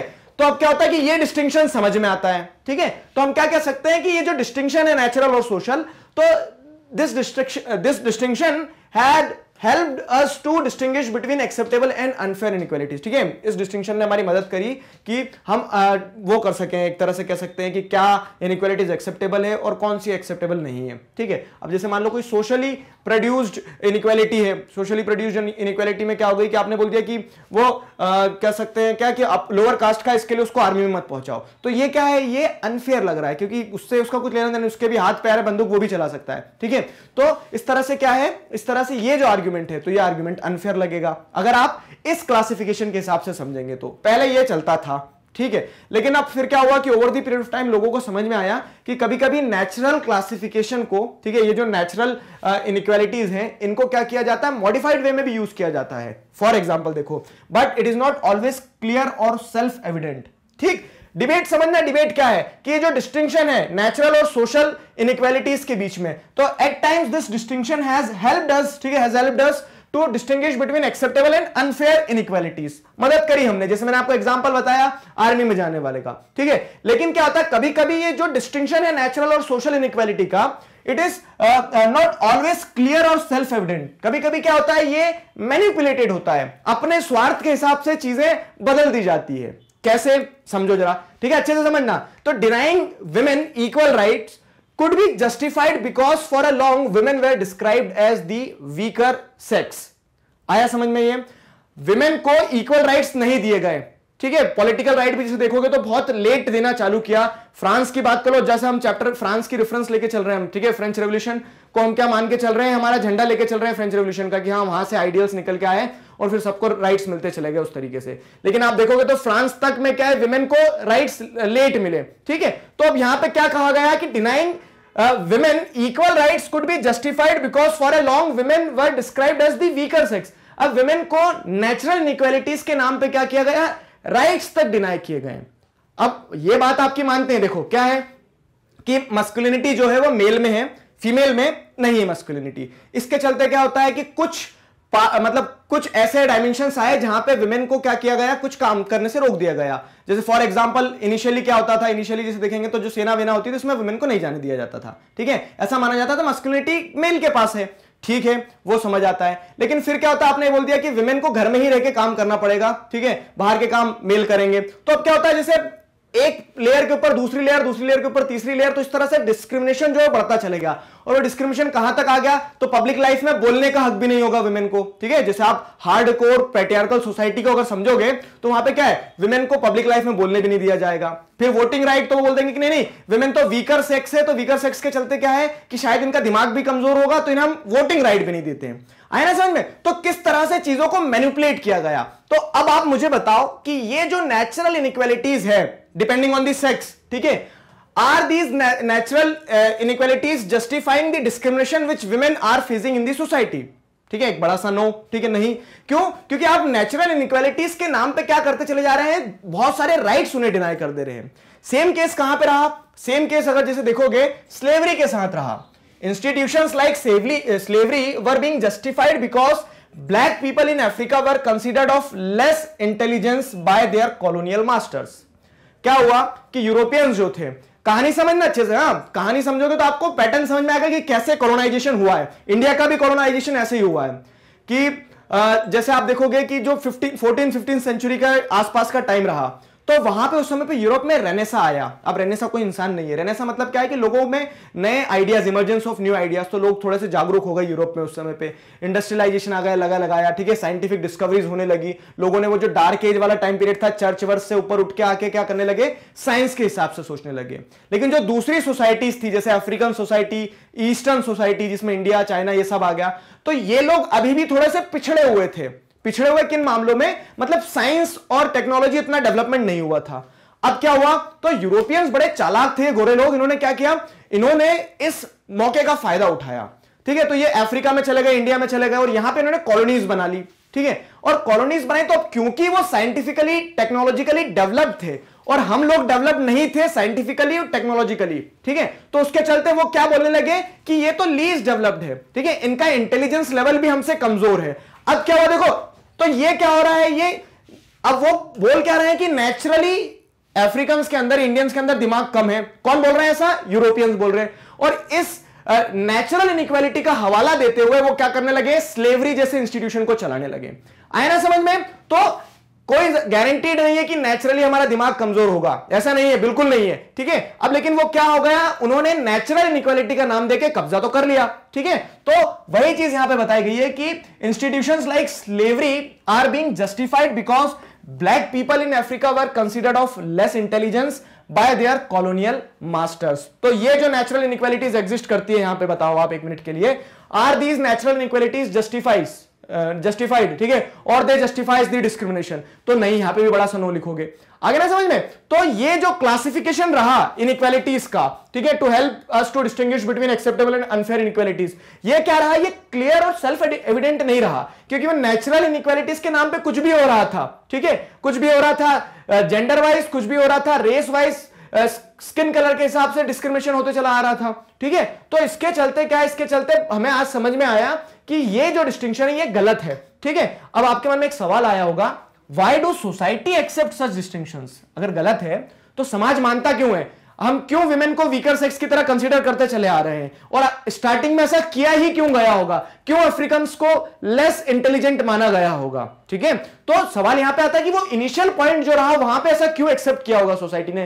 कि विमेन जो है तो वो क्या इंटेलेक्चुअली इंफीरियर है मेन से? तो इस तरह से सोसाइटी ने माना ही क्यों होगा? चलो उस डिबेट को समझते जरा। तो such distinction are accepted made by society for the difference of power between people and nations rather than based on their inborn characteristic line पढ़ने में कंफ्यूजिंग लगी है तो उसको समझो, चार बार पढ़ो, दस बार पढ़ो, लेकिन अच्छे से समझो, ठीक है?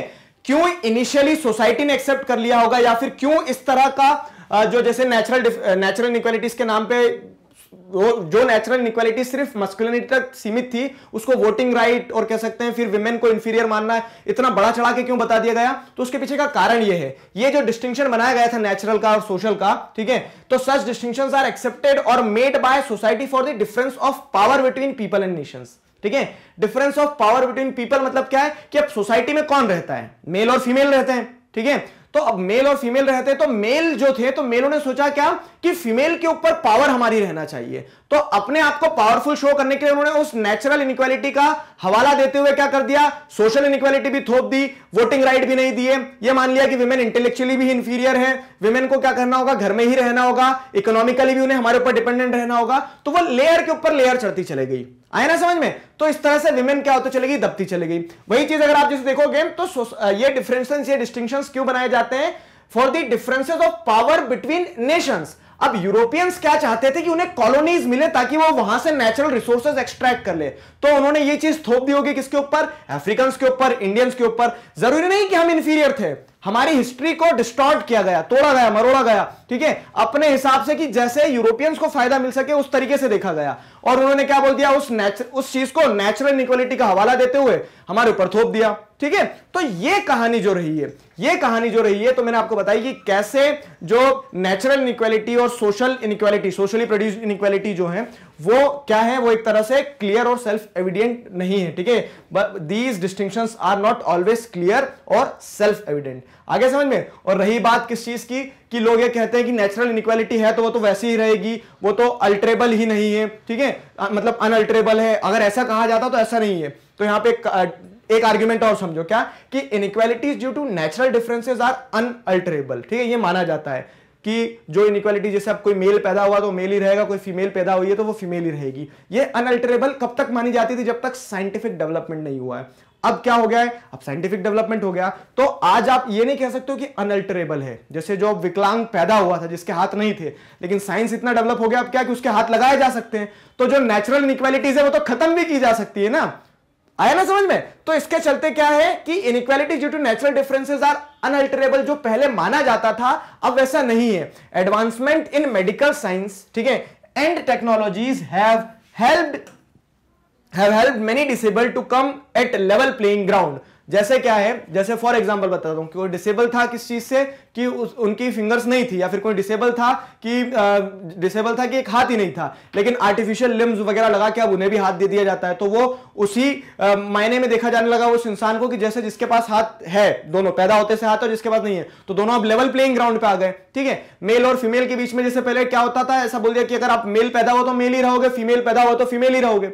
लेकिन अब क्या होता है साइंटिफिक डेवलपमेंट इतना हो गया कि क्या होता है आप जैसे देखोगे तो आ, लोग जो है अपने क्या कह सकते हैं कि ऑपरेशंस के थ्रू सेक्स भी ट्रांसफ़र कर लेते हैं। तो ये सारी चीज़ें जो है ठीक है जो पहले हवाला दिया जाता था नेचुरल इनक्वालिटी का अब वो क्या होते चले गई है वो रिड्यूस होते चले गई। क्यों? क्योंकि आप जैसे देखोगे तो artificial limbs wheel chairs computers इन सारी चीज़ों की मदद से अब हम रिड्यूस कर सकते हैं या फिर कह सकते हैं जैसे यहाँ पे एक बहुत अच्छा कुछ स्टेटमेंट था क्या? कि ये जो इनक्वालिटीज है उन्हें आप अल्ट अब वो अनअल्टरेबल नहीं रह गई अब उसे अल्टर कर सकते हो आप, ठीक है? अब वो उसे अल्टर कर सकते हो आप। क्लियर हुआ ये? जैसे स्टीफन हॉकिंस का यहाँ पे एग्जांपल दिया गया है। तो फिजिकली तो क्या है? नेचुरली अगर देखा जाए तो उनके, वो बहुत ज़्यादा क्या कह सकते हैं कि कैपेबल ही नहीं थे किसी चीज़ को करने के लिए, ठीक है? मतलब उनके हाथ पैर कुछ नहीं चलते थे बॉडी का कोई मूवमेंट नहीं होता था। लेकिन इन सारी समस्याओं के बावजूद भी, एक इंसान जो चल फिर कुछ नहीं सकता है उस इंसान ने साइंस में कितना बड़ा कंट्रीब्यूशन दिया? स्टीफन हॉकिंस की, जैसे अगर हम बात करें, ठीक है? तो वो क्या है? नेचुरल इनक्वालिटी तो थी ना, लेकिन साइंस, टेक्नोलॉजी, इन सारी चीज़ों की मदद से उन्होंने उस नेचुरल इनक्वालिटी से ऊपर आते हुए जो लोग हस्ट पुष्ट हैं, चारों हाथ पैर चल रहे हैं, दिमाग चल रहे हैं, उनसे बेहतर करके दिखाया। आगे समझ में? तो यही डिबेट है यहाँ पे। तो अगर हम समअप करें उसे तो समअप कैसे कर सकते हैं कि नेचुरल और सोशल इनक्वालिटीज जो होती है ठीक है, वो पहले क्राइटेरिया की तरह यूज़ की जाती थी कि इस डिस्टिंक्शन की मदद से आप बोल सकते हो कि कौन से इनइक्वालिटीज जस्टिफाइड है, कौन सी इनइक्वालिटीज जस्टिफाइड नहीं है। लेकिन क्या होता है but the distinction is not always clear और सेल्फ एविडेंट तो ये जो डिस्टिंक्शन किए जाते थे these distinction were not clear और सेल्फ एविडेंट तो उसमें भी क्या होता था मैनिपुलेशन हो जाता था। तो और ऐसा माना जाता था कि नेचुरल डिफरेंसेस जो है, वो क्या है अल्टरेबल है ही नहीं अनअल्टरेबल है। लेकिन today natural differences are also alterable with the advancement in science and technology we can change natural inequalities also ठीक है? हम नेचुरल इनक्वालिटीज को भी हटा सकते हैं। तो देयर फोर नेचुरल और socially produce distinction are not sufficiently not sufficient to understand and assess the laws and policies of the society तो सोसाइटी को अगर समझना है इक्वेलिटी के परस्पेक्टिव से तो सिर्फ़ नेचुरली और सोशली प्रोड्यूस डिस्टिंक्शन की मदद आज क्या है? मतलब इन इन डिफरेंसेस की मदद से आप सफिशिएंटली सोसाइटी के जो लॉज हैं, उसे नहीं समझ पाओगे इक्वालिटी के परस्पेक्टिव से। तो therefore many theories today differentiate inequalities in two groups तो इनइक्वालिटीज को अलग अलग जो जैसे ग्रुप्स में देखा जाता था ना तो अब क्या होने लगा कि बहुत सारे जो थ्योरिस्ट हैं, वो इनइक्वालिटीज को नेचुरल मैंने आपको स्टार्टिंग में बताया था कि नेचुरल और सोशल के सोशली प्रोड्यूस इनइक्वालिटीज के परस्पेक्टिव से ना देखते हुए अलग दो ग्रुप्स में देखने लगे हैं। वो कौन कौन से हैं? Inequalities arising from our choices और दूसरा है इनइक्वालिटीज ड्यू टू फैमिली और सर्कमस्टेंसेज समझे जरा, इसका भी आपको मैं एक ब्रीफ एक्सप्लेनेशन देता हूँ तो आपको क्लैरिटी यहाँ पे भी आ जाएगी। क्या होता है कि हमने ये जो पूरी कहानी देखी नेचुरल और सोशल इनइक्वालिटीज की, वो क्या है? वो अब एक्सेप्टेबल नहीं है। क्यों? क्योंकि वो अपने आप में जैसे हम देखेंगे तो क्या है कि ये जो डिफरेंसेस थे क्लियर और सेल्फ एविडेंट नहीं थे और जो लिमिटेशन थी कि नेचुरल इनइक्वालिटीज को हटाया नहीं जा सकता अल्टर नहीं किया जा सकता तो आज तो उसे भी बदल सकते हैं हम। तो फिर अब क्या होने लगा? तो जो थ्योरिस्ट थे थ्योरिस्ट ने क्या बोला कि हम तो दो नए तरह के क्लासिफिकेशन निकालेंगे इनइक्वालिटीज में। क्या है?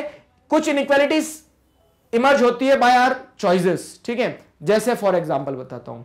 आपके पास भी एक करोड़ रुपए, मेरे पास भी एक करोड़ रुपए बधाई हो ठीक है? अब क्या होगा? आप सट्टा लगा देते हो, पूरे हार जाते हो। मैंने उस एक करोड़ रुपए का क्या कर लिया? कहीं अच्छी जगह इन्वेस्टमेंट कर लिया, एक करोड़ के दो करोड़ बना लिए। तो ये क्या हुआ? ये जो इनइक्वालिटीज आई है कि आप रोडपति में करोड़पति, ठीक है, ये क्यों आई है? ये हमारी चॉइसेस के कारण आई है, ठीक है? तो अब जैसी करनी वैसी भर नहीं हमारी चॉइसेस के कारण इनक्वालिटी आई है तो उसमें कुछ नहीं कर सकते हम। तो एक तो इनक्वालिटीज होती है हमारी चॉइसेस के कारण। आप क्या करियर चूज़ कर रहे हो? मैं क्या करियर चूज़ कर रहा हूँ? दोनों अलग अलग जगह जाएँगे, ठीक है? किसी के पास पैसा होगा, किसी के पास नहीं होगा। तो वो इनक्वालिटीज हमारी चॉइसेस के कारण हुई है। उन्हें इनक्वालिटी नहीं कहेंगे। क्यों? क्योंकि इक्वलिटी ऑफ़ अपॉर्चुनिटी तो थी, सही डिसीज़न लेना और गलत डिसीज़न लेना, उस चीज़ पर निर्भर करता है कि हम कहाँ, कौन, किधर पहुँच गया। ठीक है? अब दूसरी चीज़ अगर देखें तो दूसरा जो क्लासिफिकेशन दिया थ्योरिस्ट ने, वो क्या दिया है? इनइक्वालिटीज ड्यू टू फैमिली और सर्कमस्टेंसेस फैमिली और सर्कमस्टेंसेस मतलब क्या? कि कोई गरीब परिवार में पैदा हुआ, कोई अमीर परिवार में पैदा हुआ। इस कारण से दोनों के बीच में इनइक्वालिटी हो यह जस्टिफाइड नहीं है। ठीक है? तो जैसे हम क्या देखेंगे? Sources of concern and should be minimize and eliminated तो जैसे सर्कमस्टांसेस में वही बात की गई कि कोई अमीर गरीब है तो इसका मतलब ये नहीं कि अमीर को एजुकेशन मिलना चाहिए, गरीब को नहीं मिलना चाहिए। आपको इक्वेलिटी ऑफ़ अपॉर्चुनिटी तो प्रोवाइड करना पड़ेगी ना। कनेक्ट कर पा रहे हो? हमने पिछले वीडियो में पढ़ा इक्वालिटी ऑफ़ अपॉर्चुनिटी तो ये वाला जो इनइक्वालिटी का कह सकते हैं बेसिस है, या फिर जो थ्योरिस्ट इस ग्रुप की इनइक्वालिटी को देखते हैं कि जो हमारे बस में नहीं थी, क्योंकि हम गरीब परिवार में पैदा हुए, इसका मतलब ये नहीं कि we are not having right to have a quality education ठीक है? ये वाला जो इनइक्वालिटी है, इसके बारे में थ्योरिस्ट सोचते हैं। ठीक है? It is a source of concern concern and should be minimized and eliminated इस चीज़ को कम किया जाना चाहिए। एलिमिनेट किया जाना चाहिए। ठीक है, इस चीज़ पे बात की जा रही है। अब हम आगे जो चैप्टर है तो उसको, उसमें यही समझेंगे कि जैसे ऐसी इनइक्वालिटीज जो हमारी सर्कमस्टेंसेज हमारी फैमिली के कारण डेवलप होती है, वो कौन कौन सी है? ठीक है तो तीन डायमेंशन जो है, आपका नेक्स्ट टॉपिक यही है। तीनों डायमेंशन समझेंगे इनइक्वालिटीज के। उन्हें कैसे रिड्यूस किया जा सकता है? उस चीज़ के ऊपर थ्योरिस्ट भी सोचते हैं, हम भी पढ़ेंगे, हम भी सोचेंगे, और कुछ करना भी उस बारे में। ठीक है? इस वीडियो में हम क्या पढ़ने वाले हैं?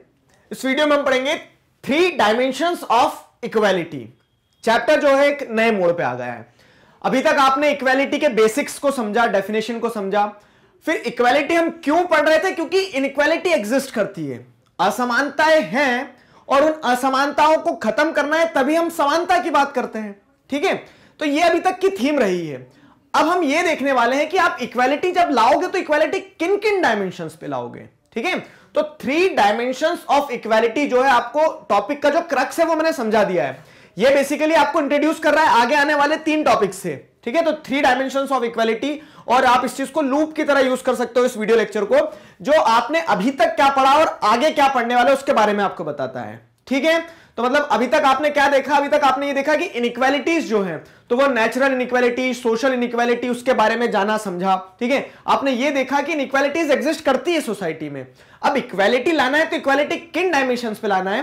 तो here are the three dimension of equality which we are going to talk about fine देखो we have seen the social differences social differences हमने देखे कि सामाजिक दृष्टिकोण से अगर आप देखोगे ना तो क्या है? डिफरेंसेस एग्जिस्ट करते हैं। कोई अमीर है, कोई गरीब है, कोई मेल है फीमेल है। अब मेल है फीमेल है तो उससे दिक्कत नहीं हमें। ये तो मतलब डिफरेंसेस क्या है? डिफरेंसेस एक तरह से डायवर्सिटी को ऐड करते हैं।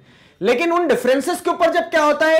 डिस्क्रिमिनेशन होता है, ठीक है? इन डिफरेंसेस के चलते जो इनइक्वालिटीज होती है, वो चिंता का विषय है, ठीक है?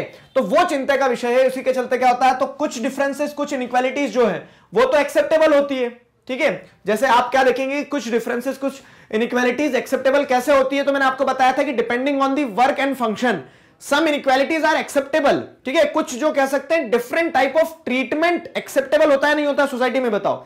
होता है। लेकिन कुछ अनएक्सेप्टेबल होता है, ठीक है? जैसे अब क्या हो रहा है कि आप कह रहे हैं कि विमेन को एक वीकर सेक्स की तरह कंसीडर करके चल रहे हो, और उसी के चलते you are denying them of their rights तो वो अनएक्सेप्टेबल है। आए ना समझ में? तो इस सेंस में we have seen the social differences in और उन सोशल डिफरेंसेस के चलते इनइक्वालिटीज एग्जिस्ट करती है। कुछ इनइक्वालिटीज एक्सेप्टेबल होती है, कुछ इनइक्वालिटीज अनएक्सेप्टेबल होती है। जो अनजस्ट होती है जिसे जस्टिफाई नहीं किया जा सकता वो अनएक्सेप्टेबल जो जिसे जस्टिफाई किया जा सकता है वो एक्सेप्टेबल ठीक है? तो अब हम क्या देखने वाले कि इनइक्वालिटीज है तो आ, उसी के लिए हम इक्वालिटी की बात करते हैं। तो इक्वालिटी की जब बात करते हो तो but which type of equality do we want ठीक है? आप इक्वालिटी की अगर बात करते हो तो इक्वालिटी आपको किस तरह की चाहिए? Which type of equality do we want तो हम इक्वालिटी को तीन डायमेंशन से देखते हैं। वही टॉपिक आपको इंट्रोड्यूस कर रहा है। तीन डायमेंशन कौन कौन से? Various thinkers and ideologies have highlighted three main dimension of equality वो क्या है? पहला पॉलिटिकल दूसरा सोशल तीसरा इकोनॉमिक पॉलिटिकल इनइक्वालिटी क्या होती है? देखो सॉरी पॉलिटिकल इक्वालिटी की जब आप बात करते हो तो पॉलिटिकल इक्वालिटी क्या होगी? मतलब राजनीतिक रूप से लोगों को समानताएँ मिल जाए। हिंदी में बताया आप समझाता हूँ, देखो। तो क्या होता है कि जैसे आप कह रहे हैं वोटिंग राइट की जब हम बात करते हैं तो वोटिंग राइट हमारा एक पॉलिटिकल राइट होता है। Being citizen of a country we want political right सभी को वोटिंग राइट मिलना चाहे अब चाहे वो काला हो, गोरा हो, अमीर हो, गरीब हो, छोटा हो, मोटा हो मेल हो फीमेल हो, कोई भी हो, हर इंसान पॉलिटिकल राइट चाहेगा, नहीं चाहेगा? ठीक है तो पॉलिटिकल इक्वालिटी की बात की जाती है। तो एक डायमेंशन पॉलिटिकल इक्वालिटी को होगा। इसे हम नेक्स्ट वीडियो में सब्सिक्वेंटली क्या करेंगे, अच्छे से समझेंगे। फिर दूसरा डायमेंशन क्या हो जाएगा? सोशल इक्वालिटी अब आप एक समाज में जब इंसान रहता है ना तो समाज में बहुत सारी तरह तरह की इनइक्वालिटीज एग्जिस्ट करती है। और उन्हीं इनइक्वालिटीज को जो समाज में एग्जिस्ट करती है सोसाइटी में एग्जिस्ट करती है, उन्हें तोड़ के इक्वालिटी स्टेब्लिश करना सोशल इक्वालिटी वाले टॉपिक में हम पढ़ेंगे। जैसे क्या होता है कि कास्ट के बेसिस पे इनइक्वालिटी जो एग्जिस्ट करती है, ठीक है, उसे खत्म करके एक कास्ट न्यूट्रल कास्ट न्यूट्रल देखो कास्ट को आप खत्म नहीं कर सकते हो कास्ट हमारे अंदर है, ठीक है, हम कास्ट के अंदर है। लेकिन क्या है, उसके जो इंपैक्ट्स हैं कास्ट के बेसिस पे जो डिस्क्रिमिनेशन हो रहा है, मैं वही कह रहा हूँ ना कि differences are not bad differences हैं तो गलत नहीं है। Differences are adding diversity to our life लेकिन उन डिफरेंसेस के चलते जब डिस्क्रिमिनेशन होने लगता है तो दोस्त डिस्क्रिमिनेशन आर बैड ठीक है? तो सोशल डिस्क्रिमिनेशन सोशल इक्वालिटी में हम वो पढ़ेंगे कि सामाजिक दृष्टिकोण से देखा जाए तो कास्ट हो गया जेंडर हो गया, ये जो है, इन डायमेंशन पे इक्वालिटी स्टैब्लिश करना है। और अगला है इकोनॉमिक तो इकोनॉमिक इनइक्वालिटी का मैंने आपको बहुत अच्छा नमूना प्रस्तुत किया था, ठीक है? मैंने बहुत सारे फैक्ट्स बताया था आपको। तो इकोनॉमिक इनइक्वालिटी भी एक बहुत बड़ा चैलेंज है। तो इस टॉपिक में हम क्या करेंगे? इकोनॉमिक इक्वालिटी को पढ़ने वाले हैं। ठीक है कि कैसे डेवलप कंट्री और लीज डेवलप कंट्री में डिफरेंसेस है इकोनॉमिक डिफरेंसेस अब कंट्री के अंदर भी अगर बात करोगे तो कुछ एक स्टेटा जो है तो वो क्या है? रिच है। कोई एक जो है तो पुअरेस्ट है। तो वो रिच और मतलब रिचेस्ट पुअरेस्ट वाला जो एक पूरा डिबेट है, वो समझेंगे। तो ये subsequently one by one unfold होते चले जाएगा। तीन डायमेंशन समझ में आ गए ना? तो मोटा माटी मैंने आपको तीनों डायमेंशन बता दिए हैं। अभी हम हम क्या करेंगे? वन बाय वन सारे डायमेंशन को अनफोल्ड करते जाएँगे। क्लियर हुआ? तो हम क्या पढ़ने वाले हैं? इस वीडियो में हम पढ़ेंगे पॉलिटिकल इक्वालिटी के बारे में। पॉलिटिकल इक्वालिटी कनेक्ट करो पहले टॉपिक को। पिछले वीडियो में हमने आपको बताया कि there are three dimension of equality inequality को खत्म करना है और इक्वालिटी को लाना है। तो अब इनइक्वालिटी को खत्म करके इक्वालिटी को लाओगे तो इक्वालिटी किस मुद्दे पे लाओगे आप, ठीक है? तो जो तीन डायमेंशन मैंने आपको बताया पॉलिटिकल सोशल इकोनॉमिक उन्हें अब हम वन बाय वन पढ़ने वाले हैं।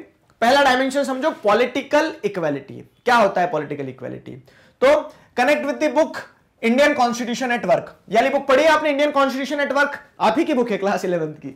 तो इंडियन कॉन्स्टिट्यूशन नेटवर्क में आपने क्या देखा, क्या समझा? कि पॉलिटिकल इक्वेलिटी होती है डेमोक्रेटिक सोसाइटीज में। शब्द भारी लग रहे हैं तो उन्हें एक्सप्लेन कर देता हूँ। जैसे क्या होता है डेमोक्रेटिक सोसाइटी में जहाँ पे लोग क्या कर रहे हैं अपने लीडर्स को चूज़ कर रहे हैं या फिर अपने रिप्रेजेंटेटिव्स को चूज़ कर रहे हैं उनके रिप्रेजेंटेटिव्स जो है तो उनके बिहार पर डिसीज़न लेते हैं। तो इस तरह की डेमोक्रेटिक सोसाइटी जहाँ पे लोकतंत्र है ठीक है? पीपल जो है पीपल के पास में क्या होती है आ, सही मायने में पावर होती है ठीक है? तो वो जो डेमोक्रेटिक सोसाइटी होती है उन डेमोक्रेटिक सोसाइटी में पॉलिटिकल इक्वेलिटी होती है ठीक है? अब पॉलिटिकल इक्वेलिटी क्या होती है? सर, पहले ये बता दो। चलो, वो भी समझाता हूँ। पॉलिटिकल इक्वेलिटी मतलब क्या है? कि पॉलिटिकली हर इंसान उस डेमोक्रेटिक प्रोसेस में भाग लेगा और वो इक्वल फ्रंट पे भाग लेगा। जैसे आप अगर देखोगे तो वोटिंग राइट जो एक गरीब इंसान का होता है, वही एक अमीर इंसान का भी होता है। ठीक है, ऐसा थोड़ी ना कि अमीर इंसान है तो उसके दो वोट काउंट होंगे।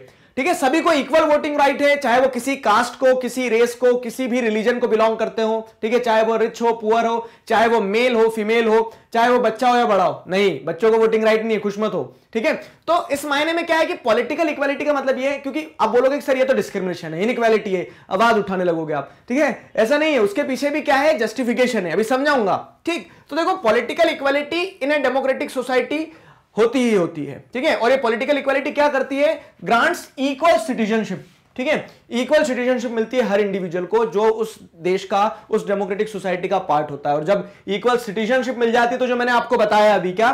कि this citizenship comes with certain basic rights कुछ बेसिक राइट्स भी मिलते हैं सिटीजनशिप के साथ साथ में, जैसे राइट टू वोट तो ये एक पॉलिटिकल राइट का एग्जांपल हो गया कि सबको वोटिंग राइट मिलता है, ठीक है? फ्रीडम ऑफ़ एक्सप्रेशन चैप्टर पढ़ के आओ पीछे फ्रीडम फ्रीडम आप क्यों मांग रहे हो? समझना इस चीज़ को। आप एक डेमोक्रेटिक कंट्री में जी रहे हो, इसलिए फ्रीडम ऑफ़ एक्सप्रेशन मांग सकते हो। आप बोलते हो कि मुझे, मैं जो सोचता हूँ, उस चीज़ को बोलने की आज़ादी हो। यही चीज़ आप कहीं मोनार्कियल फॉर्म ऑफ़ गवर्नमेंट होती, कहीं पे कोई मोनार्क होता, उस देश में जी रहे होते, ठीक है? पहुँचा दे आपको अगर नॉर्थ कोरिया ठीक है? फिर वहाँ बोल के दिखाना है कि फ्रीडम ऑफ़ एक्सप्रेशन हो, ठीक है?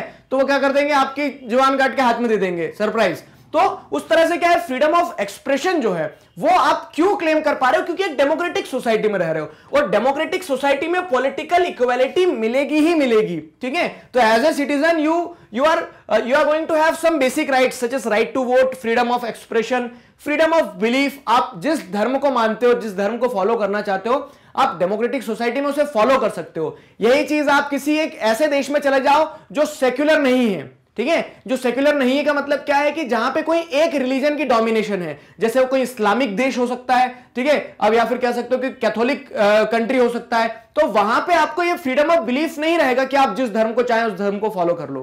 ठीक? फिर क्या होता है? कॉन्स्टिट्यूशनल राइट्स होते हैं कुछ। हाँ ये चीज़ समझ लो। जैसे ये जो पॉलिटिकल राइट्स होता है ना अधिकतर कॉन्स्टिट्यूशनल राइट्स होते हैं। मतलब ऐसा नहीं कि आप पैदा हो गए तो आप डिमांड करने लगोगे कि क्या कि हमें राइट्स दो राइट टू वोट दो। ठीक है? जैसे राइट टू लाइफ आपका एक नेचुरल राइट है कि मतलब आप पैदा हुए तो आपको जीने का अधिकार है। मरने के लिए पैदा नहीं हुए ना। तो वो क्या हो गया? नेचुरल हो गया। लेकिन ये जो right to vote freedom of expression belief ये सारे क्या है? ये कॉन्स्टिट्यूशनल राइट्स की तरह कंसीडर किया जाता है कि जब एक डेमोक्रेटिक सोसाइटी अपना कॉन्स्टिट्यूशन बनाती है तो सिटीजनशिप देती है और लोगों को बोलती है कि ये अधिकार हम आपको दे रहे हैं, ये लीगल राइट है। ठीक है? तो अब क्या है यहाँ पे? अगर आप ये सोच रहे हो कि ये तो यूनिवर्सल राइट होते हैं मतलब हर जगह डेमोक्रेसी है, नहीं है, ठीक है? तो यहीं पे हमारा आर्ग्यूमेंट फेल हो जाता है कि ये राइट्स जो हैं, ठीक है? It means that political equality is universal क्या इस तरह की पॉलिटिकल यूनिटी जो है इक्वालिटी जो है, ठीक है? ये हमने जो पढ़ी तो क्या ये पॉलिटिकल इक्वालिटी यूनिवर्सल है? मतलब सभी जगह अवेलेबल है? तो नहीं, सभी जगह अवेलेबल नहीं है।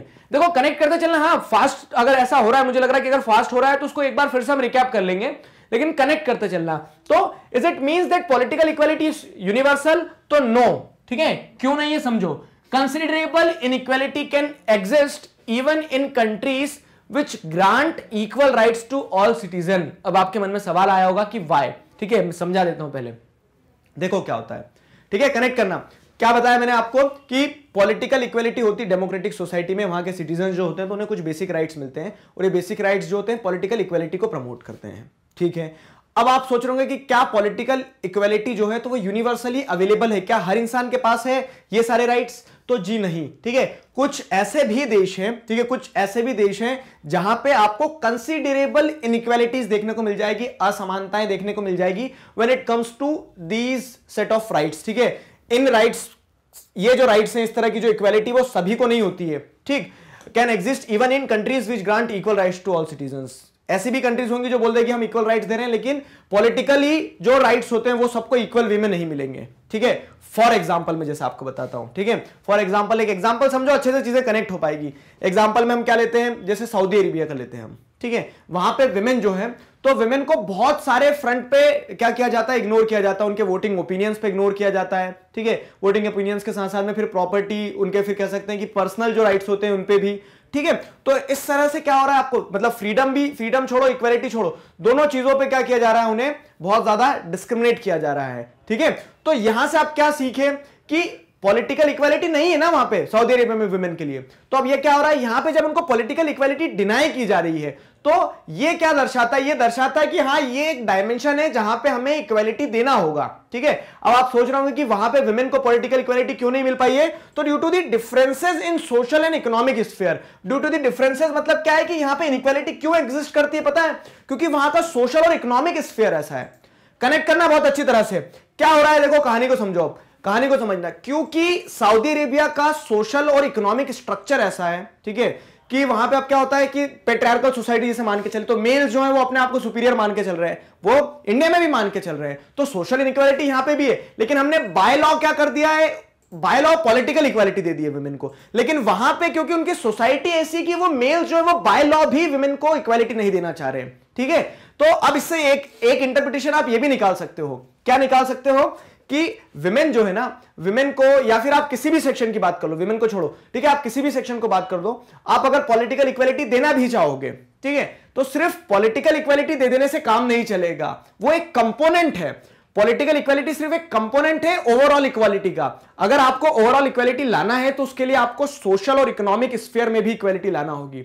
इसे हम, अभी जो पूरी थ्योरी पार्ट थी, मैंने आपको समझा दिया है। अब इसे एग्जांपल से समझो, एक सटीक एग्जांपल देता हूँ। एनालाइज करना इस चीज़ को बैठ के अच्छे से। क्या हो रहा है कि आज आप जैसे देखोगे तो कहीं भी बुक्स में नहीं लिखा है ऐसा कि विमेन जो है विमेन के राइट्स कम है और मेन के राइट्स ज़्यादा हैं। ठीक है? कहीं नहीं लिखा है। लेकिन फिर भी क्या होता है विमेन अपने आप को डिप्राइव फील करती है। ठीक है? मतलब उन्हें लगता है कि हमारे अधिकार कम है। ठीक? तो पॉलिटिकल राइट्स तो है। बोलो हाँ। लेकिन आप सोसाइटल लेवल पकड़ देखोगे तो सोसाइटी क्या मानसिकता लेके चल रही है कि विमेन इंफीरियर है मेन सुपीरियर है। ठीक है? तो इसके चलते क्या होता है कि विमेन ने एक नोशन अपने सिर पर डाल लिया कि दे आर इंफीरियर फिर क्या होता है? अब ये नोशन जब डाल लिया ना तो उनको पॉलिटिकल इक्वालिटी होने के बावजूद भी वो उस पॉलिटिकल इक्वालिटी को एक्सरसाइज नहीं कर पाती है। इकोनॉमिक इक्वालिटी होने के बावजूद भी उस इकोनॉमिक इक्वालिटी को एक्सरसाइज नहीं कर पाती है।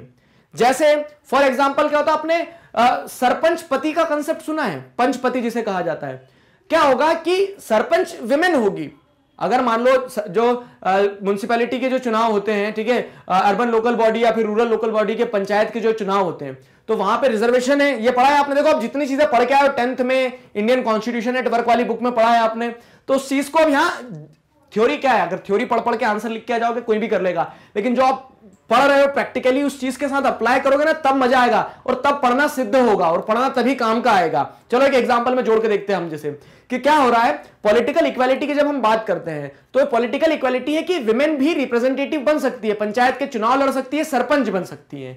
अब कोई महिला थी, वो सरपंच बनी, बधाई हो, मिठाई बटवाई उन्होंने, ठीक है? अब क्या हो रहा है लेकिन अब ये हो रहा है कि आप देखोगे पॉलिटिकल इक्वालिटी है, वो सरपंच बन सकती है। लेकिन सोसाइटल स्ट्रक्चर ऐसा है कि सोशल इक्वालिटी ना होने के कारण उस विमेन का जो हस्बैंड है, ठीक है तो पॉलिटिकली वो कुछ नहीं है। लेकिन वो उसने क्या बोल दिया मैं पंचपति हूँ, और वो विमेन के नाम पे सारे डिसीज़न कौन लेता है? वो अंकल जी लेते हैं, ठीक है? तो इस सेंस में क्या हो रहा है कि सोशल इनइक्वालिटी होने के कारण क्या होता है कि पॉलिटिकल इक्वालिटी है भी तो भी वो क्या हो जाती है ब्लर हो जाती है, वो दब जाती है। आ गया, वही चीज़ इकोनॉमिक इनइक्वालिटी में इकोनॉमिक स्फेयर में अगर आप जैसे देखोगे तो विमेन जो है women are being paid less ठीक है? ये फैक्ट है डेटा है सर्वेज में निकल के आया कि किसी एक जॉब के लिए जितना मेल को पे किया जाता है, उतना फीमेल को नहीं पे किया जाता है। इनकम डिस्पैरिटीज होती है, ठीक है? क्यों होती है? क्योंकि सोसाइटी ऐसा मान के चलती है कि महिलाएँ जो हैं, वो ज़्यादा पैसा नहीं कमा सकती है। आगे समझ में? तो इस तरह से क्या है कि सिर्फ़ पॉलिटिकल इक्वालिटी देने से कुछ नहीं होगा, आपको दूसरे डायमेंशन पे भी सोचना होगा। Therefore a level playing field is demanded एक लेवल प्लेइंग फ़ील्ड ज़रूरी होती है जब आप इक्वालिटी की बात करते हो तो पॉलिटिकल इक्वालिटी एक इंपॉर्टेंट मुद्दा होता है। और उसी तरह से जैसे मैंने बताया कि इसे सेक्लूजन में नहीं देखा जाए सोशल और इकोनॉमिक स्फेयर में भी देखा जाए। नेक्स्ट वीडियो में हम सोशल इक्वालिटी की बात करेंगे। आगे ना समझ में टॉपिक को सिर्फ़ पढ़ के आगे मत बढ़ा करो कभी भी। ठीक है? अब जैसे आपने ये थ्योरी का एक कंसेप्ट देखा, ये थ्योरी थी, लेकिन आप इसको जब प्रैक्टिकली अलग अलग एग्ज़ाम्पल से रिलेट करोगे ना, तब आएगा मज़ा। आया समझ में? ठीक है। आशा करता हूँ चीज़ें समझ में आई है। इस वीडियो में हम क्या पढ़ने वाले हैं? इस वीडियो में हम पढ़ेंगे सोशल इक्वालिटी के बारे में। देखो, कहानी सुनाता हूँ पहले एक। राजा रानी वाली नहीं है, लेकिन सुनो। अभी तक आपने क्या पढ़ा तो आप तीन डायमेंशन देख रहे हो इक्वालिटी के। तो तीन डायमेंशन जो इक्वालिटी के देख रहे हो तो उसमें आपने पॉलिटिकल इक्वालिटी को जाना, समझा। पॉलिटिकल इक्वालिटी से आपको यह समझ में आया कि पॉलिटिकल इक्वालिटी देना मतलब क्या है कि जो एक डेमोक्रेटिक कंट्री होती है, एक डेमोक्रेटिक सोसाइटी होती है, वो अपने सिटीजन को पॉलिटिकली इक्वल राइट्स प्रोवाइड करती है। जैसे right to vote freedom of speech and expression ठीक है? एंड सम कॉन्स्टिट्यूशनल राइट्स तो ये सारी चीज़ें आपको कहाँ देखने को मिलती है? पॉलिटिकल इक्वालिटी में। तो हम क्या कह सकते हैं कि पॉलिटिकल इक्वालिटी से आपके सामने क्या आउटकम निकल के आता है? इक्वालिटी बिफोर लॉ निकल के आता है। इक्वालिटी बिफोर लॉ ठीक है? इक्वालिटी बिफोर लॉ निकल के आता है। अभी इसको समझते चलो, फिर आगे कनेक्ट करवाऊँगा मैं। अब जब आप सोशल इक्वालिटी की बात करते हो तो सोशल इक्वालिटी के थ्रू पता है क्या कोशिश की जाती है? इक्वालिटी ऑफ़ अपॉर्चुनिटी प्रोवाइड करने की कोशिश की जाती है। अब इक्वालिटी ऑफ़ अपॉर्चुनिटी कैसे प्रोवाइड करने की कोशिश की जाती है? यह सवाल आया होगा आपके मन में। अब मैं आपसे एक चीज़ और बोलता हूँ कि पॉलिटिकल इक्वालिटी और सोशल इक्वालिटी जो है, इन दोनों को एक साथ देखना है, ठीक है? Both these equalities goes hand in hand साथ, एक साथ दोस्तों की तरह हाथ में हाथ डाल के जाते हैं ये, ठीक है? अब आपके मन में बहुत भयंकर कंफ्यूजन हुआ होगा कि कैसे? तो वही चीज़ हम एक्सप्लेन करते हैं आपको, ठीक है? तो देखो समझना पॉलिटिकल इक्वालिटी क्या करती है पता है? Political equality remove any legal hurdles which might exclude people from a voice in government and deny them access to available social goods ठीक है अब देखो क्या होता है कि मान लो एक मेल है एक फीमेल है सोसाइटी में अब फीमेल को वोटिंग राइट नहीं मिल रहा है ठीक है फीमेल को वोटिंग राइट क्यों नहीं मिल रहा है क्योंकि समाज ये मान के चल रहा है कि फीमेल आर इंफीरियर ठीक है एग्ज़ाम्पल को दिल पे मत लेना, समझते चलना, बस समझाने के लिए बता रहा हूँ। तो अब क्या होता है कि जब ये सोसाइटी ऐसा मान के चल रही कि फीमेल आर इंफीरियर तो उसके चलते क्या हो रहा है, उन्हें वोटिंग राइट नहीं मिल रहा है। लेकिन जब अगर गवर्नमेंट एक डेमोक्रेटिक गवर्नमेंट बाय लॉ ये बोल देगी कि यूनिवर्सल अडल्ट फ्रेंचाइजी है, सभी को इक्वल वोटिंग राइट मिलेंगे, ठीक है? सभी को इक्वल वोटिंग राइट मिलेंगे तो उसके चलते क्या हो गया कि जो लीगल हर्डल था, कि पहले महिलाएँ आवाज़ भी नहीं उठा सकती थी। क्यों? क्योंकि कोई गवर्नमेंट भी सपोर्ट करने वाली नहीं थी। लेकिन जब गवर्नमेंट पॉलिटिकल इक्वालिटी के चलते क्या करेगी? पॉलिटिकल राइट दे देगी राइट टू वोट दे देगी। अब क्या है? अब महिलाएँ कम से कम आवाज़ तो उठा पाएगी। क्यों? क्योंकि जो लीगल हर्डल था ना लीगल हर्डल जो लोगों को रोक सकता था from a voice in government ठीक है? तो वो लीगल हर्डल हट गया, उल्टा एक सपोर्ट मिल गया, एक बैकिंग मिल गया है पॉलिटिकल इक्वालिटी के नाम पे। तो पॉलिटिकल इक्वालिटी क्या कर देती है कि लीगली उस चीज़ को, क्या कर देती है? लीगली उस चीज़ को एक बैकिंग दे देती है। एक और अच्छा एग्ज़ाम्पल बताऊँगा, अभी ध्यान रखना ये चीज़। ठीक है? अब सोशल इक्वालिटी का क्या काम होता है है? सोशल इक्वालिटी की जब बात की जाती है तो मैं क्या कह रहा हूँ? इक्वालिटी ऑफ़ अपॉर्चुनिटी प्रोवाइड करती है वो। इक्वालिटी ऑफ़ अपॉर्चुनिटी कैसे प्रोवाइड करती है, वो समझाते देखो। तो at societal level people belonging to different group and communities also have a fair and equal chance to compete for those goods and opportunities ठीक है? तो अब बाय लॉ तो क्या कर दिया, देखो समझना। बाय लॉ तो ऐसा हो गया कि हाँ विमेन को भी इक्वल वोटिंग राइट रहेगा। तो लीगल हर्डल तो हट गया। लेकिन अगर सोशल इक्वालिटी नहीं है सोसाइटी में आज भी माइंडसेट वही है कि मेल ही सुपीरियर रहेंगे। तो वो फीमेल को पढ़ाएँगे, लिखाएँगे नहीं, ठीक है? फीमेल को जब पढ़ाएँगे लिखाएँगे नहीं तो आप देखो बाय लॉ कहीं मना नहीं बोला कि पढ़ाओ मत विमेन को। लेकिन क्योंकि सो, सोसाइटी की सोच क्या है कि मेल डोमिनेटेड सोसाइटी रहना चाहिए तो विमेन को पढ़ाएँगे लिखाएँगे नहीं तो वो वोटिंग राइट मिल भी जाएगा तो विमेन को अपने राइट्स के बारे में पता नहीं रहेगा कभी। आए ना समझ में? तो ये समस्याएँ होती है। इसीलिए सोशल इक्वालिटी की बात की जाती है। सोशल इक्वालिटी में मतलब सामाजिक न्याय मतलब सामाजिक समानता की जब आप बात करते हो ना तो सोसाइटल लेवल पे सिर्फ़ मेल फीमेल का नहीं, आप इसको हर डायमेंशन से देख सकते हो। जैसे क्या है कि अमीर बच्चा और गरीब बच्चा। तो अब अगर बाय लॉ हमें बोल देंगे कि राइट टू एजुकेशन में हर बच्चा पढ़ेगा, ठीक है? बाय लॉ जब हम ये बोल देंगे कि राइट टू एजुकेशन में हर बच्चा पढ़ेगा तो वो जो लीगल हर्डल था ना, कि लोग बोलते थे, गरीब का बच्चा इसको मत पढ़ाओ। तो वो क्या है? वो लीगल हडल हट गया है। लेकिन जब तक सोसाइटी में सोसाइटल इक्वालिटी नहीं आएगी सोशल इक्वालिटी नहीं आएगी, वो स्ट्रक्चर नहीं बनेगा जो इक्वालिटी ऑफ़ अपॉर्चुनिटीज़ नहीं आएगी लोगों के पास में तो वो गरीब बच्चा कैसे पढ़ पाएगा? तो गवर्नमेंट को क्या करना पड़ेगा? By law right to education तो देना होगा, लेकिन सोसाइटी में इक्वालिटी लाने के लिए वो स्ट्रक्चर भी बनाना होगा पूरा का पूरा। फ्री एजुकेशन प्रोवाइड करना होगा ताकि क्या हो कि गरीब का बच्चा भी पढ़ सके। आए ना समझ में? अब और एग्ज़ाम्पल जैसे देखना चाहोगे कि अलग अलग डायमेंशन दिखा रहा हूँ मैं आपको कि किस तरह से सोसाइटी में इक्वालिटी लाना बहुत ज़्यादा ज़रूरी है। सिर्फ़ लीगल इक्वालिटी जो मैंने आपसे कहा ना, बहुत गोज हैंड इन हैंड दोनों एक साथ देखे जाना चाहिए। तो उसका एक एग्जांपल जैसे क्या हो जाता है एलजीबीटी कम्युनिटी जो होती है, ठीक है? लेस्बियन गे ट्रांसजेंडर वाली जो कम्युनिटी होती है, ठीक है? तो वो जो कम्युनिटी है, वो कम्युनिटी क्या है? देखो सोसाइटल इक्वालिटी की अगर बात की जाए तो सोसाइटी में एलजीबीटी कम्युनिटी को कैसे देखा जाता है? उनको अननेचुरल देखा जाता है, ठीक है? इक्वालिटी नहीं है, ठीक? लेकिन जब पहले क्या सबसे प्रायर स्टेप क्या रहेगी पता है? कि पहले इक्वालिटी बिफोर लॉ लाई जाए। तो अब जैसे गवर्नमेंट ने पॉलिटिकल इक्वालिटी दे दी है लेस्बियन गे वाली जो कम्युनिटी है एलजीबीटी कम्युनिटी उन्हें गवर्नमेंट ने इक्वालिटी दे दी है कि ये उनका अधिकार है। तो अब क्या होगा कि उन्होंने एक जो लीगल हर्डल था, वो तो पार कर लिया है ना? अब अब अब रिक्वायरमेंट क्या है कि अब सोसाइटल लेवल पे लोगों की थिंकिंग में चेंज आना चाहिए। ठीक है? तो अब क्या होगा कि सोसाइटल लेवल पे सोशल इक्वालिटी की डिमांड किस लिए की जाती ताकि इक्वलिटी ऑफ़ अपॉर्चुनिटी मिले। मतलब उन्हें भी अपने आप को एक्सप्रेस करने की मतलब बाय लॉ वो गलत कुछ नहीं कर रहे हैं। लेकिन सोसाइटी में क्या होगा वो इस तरह की बात करेंगे तो सोसाइटी उनको डिसअप्रूव करेगी। तो अब सोसाइटी में चेंज लाने की ज़रूरत है। तो ये सोशल इक्वालिटी में हम सोसाइटल परस्पेक्टिव से देखेंगे। अब सोसाइटल परस्पेक्टिव को सिर्फ़ सोसाइटी की सोच तक सीमित मत रखना की सोसाइटी की सोच को हमें इक्वल बनाना है। सोशल इक्वलिटी में दूसरे भी डायमेंशन आ जाते हैं। जैसे कि वो एक इंफ्रास्ट्रक्चर पूरा होना चाहिए। जैसे राइट टू एजुकेशन वाला एग्ज़ाम्पल और अच्छा सूट करता है यहाँ पे कि राइट टू एजुकेशन में आपने पॉलिटिकल इक्वलिटी तो दे दी है कि राइट टू एजुकेशन को फंडामेंटल राइट बना दिया। लेकिन वो स्ट्रक्चर आपको सोसाइटी में भी डेवलप करना होगा। क्योंकि जो सोसाइटी इस माइंडसेट से चल रही है कि अपर कास्ट के लोग डोमिनेट करेंगे लोअर कास्ट के लोगों के ऊपर, वो सोसाइटी कभी अलाउ नहीं करेगी कि एक लोअर कास्ट का बच्चा पढ़ पाए। ठीक है? तो आप वो वहाँ पे सोसाइटल लेवल पे आपको बदलाव लाना होगा गवर्नमेंट को स्कूल्स बनाने होंगे, ठीक है? ताकि गरीब बच्चा भी पढ़ सके। आया ना समझ में? और इस तरह से चीज़ें बदलेगी। अब अगर थ्योरी को आप सिर्फ़ बुक में पढ़ते रह जाओगे तो एग्ज़ाम्पल से अगर नहीं जोड़ के देखोगे तो कभी समझ नहीं आएगी। इसके लिए एग्ज़ाम्पल से जोड़ना बहुत ज़्यादा ज़रूरी है थ्योरी आया समझ में? इसी कारण और बच्चे बुक से भागते हैं इससे। पॉलिटिकल थ्योरी बिलीव में सबसे मज़ेदार बुक है पूरी इलेवंथ क्लास में। लेकिन दिक्कत क्या होती है कि जो सबसे मज़ेदार है, उससे सबसे दूर भागने की कोशिश की जाती है। क्यों? क्योंकि आप तरीके से पढ़ते नहीं हो। आया समझ में? चलो तो देखो अभी, अब आगे की कहानी समझना। Therefore reducing socio economic inequalities अब पॉलिटिकल इक्वालिटी देने से कुछ नहीं होगा, आपको समाज पे, सामाजिक स्तर पे भी चीज़ों में बदलाव लाना होगा। एलजीबीटी कम्युनिटी को पॉलिटिकल राइट तो दे दिए, लेकिन लोग अभी एक्सेप्ट करने को तैयार नहीं है तो दिक्कतें हैं, ठीक है? तो there socio economic inequality and guaranteeing certain minimum conditions of life to all the members of society is very essential. ठीक है?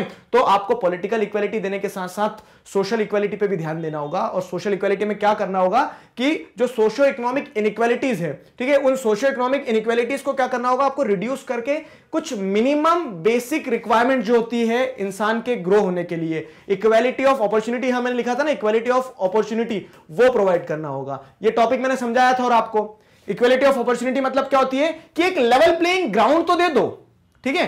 अब आप क्या है, जैसे आप बात कर रहे हो कि क्या रहना चाहिए? सोशल इक्वालिटी रहना चाहिए। तो हर बच्चा पढ़ ले पढ़ने के बाद में अगर वो कुछ नहीं कर पा रहा है वो उसकी चॉइसेस के कारण वो इनक्वालिटी सफ़र कर रहा है। अगर आप उसको पढ़ा ही नहीं रहे हो और बोल रहे हो कि ये पढ़ा नहीं इस कारण से कुछ नहीं कर पाएगा तो, तो वो तो इनक्वालिटी एग्जिस्ट करती है ना। जैसे क्या होता है मैं बताता हूँ आपको। समझना कि पॉलिटिकल इक्वलिटी की हर इंसान पढ़ सकता है, लेकिन सोसाइटी में इक्वलिटी इतनी एग्जिस्ट करती है कि अमीर और गरीब में बटे हुए हैं लोग। समझो, ठीक है? सोशो इकोनॉमिक परस्पेक्टिव से बता रहा हूँ मैं आपको।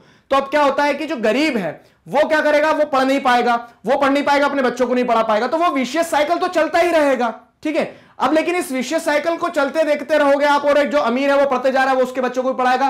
तो इधर ये जो साइकिल चल रहा है ये क्या चल रहा है? ये जैसे देखोगे तो वर्टियस साइकिल चलते जा रहा है। यहाँ पे लोग आ, क्या होते जा रहे हैं? संपन्न है। यहाँ पे संपन्न नहीं है। तो इकोनॉमिक इनइक्वालिटीज आएगी। ठीक है? अब इस चीज़ को तोड़ा कैसे जाना चाहिए कि समाज में ये व्यवस्था बनाई जाए कि जो गरीब है उसके लिए गवर्नमेंट सेटअप लाए कि एक लेवल प्लेइंग फ़ील्ड तो आ जाए। उस लेवल प्लेइंग फ़ील्ड से फिर आगे चीज़ें अपने आप बढ़ जाएगी। ठीक है? फिर क्या होगा कि अगर इसमें कैपेबिलिटीज है तो ये मेहनत करके आगे बढ़ जाएगा। इसमें कैपेबिलिटीज है तो ये भी बढ़ेगा। हम किसी को रोक थोड़ी ना रहे वो कहानी है यहाँ पे, ठीक है? तो therefore reducing socio economic inequalities and guaranteeing certain minimum condition of life to the member of society comes under social equality ठीक है? जैसे क्या क्या किस चीज़ की बात की जा रही है? तो adequate health care facilities provide की जाए। सोशल इक्वालिटीज कब आएगी? सोशल इक्वालिटीज जब भी आएगी ना, देखो, अब क्या है? दो फैमिली है। दो फैमिली में से, दोनों फैमिली में एक एक इंसान को कैंसर हो गया। एग्ज़ाम्पल समझते चलो। तो क्या होता है कि जो जिसके पास पैसा है, या फिर कह सकते हैं कि जिसके पास रीच है, वो तो अपना इलाज करवा लेगा, जिसके पास नहीं है, वो नहीं करवा पाएगा। अब क्योंकि वो इलाज नहीं करवा पाया, इस कारण क्या है? वो, उसको अपनी जान गंवाना पड़ी। ठीक है? तो इस तरह से क्या हुआ कि एडिकेट हेल्थ केयर जो है, वो सबके बस का नहीं है। तो उस चीज़ को प्रोवाइड करना सोसाइटल लेवल पे, ये सोसाइटल इक्वालिटी होगी, ठीक है?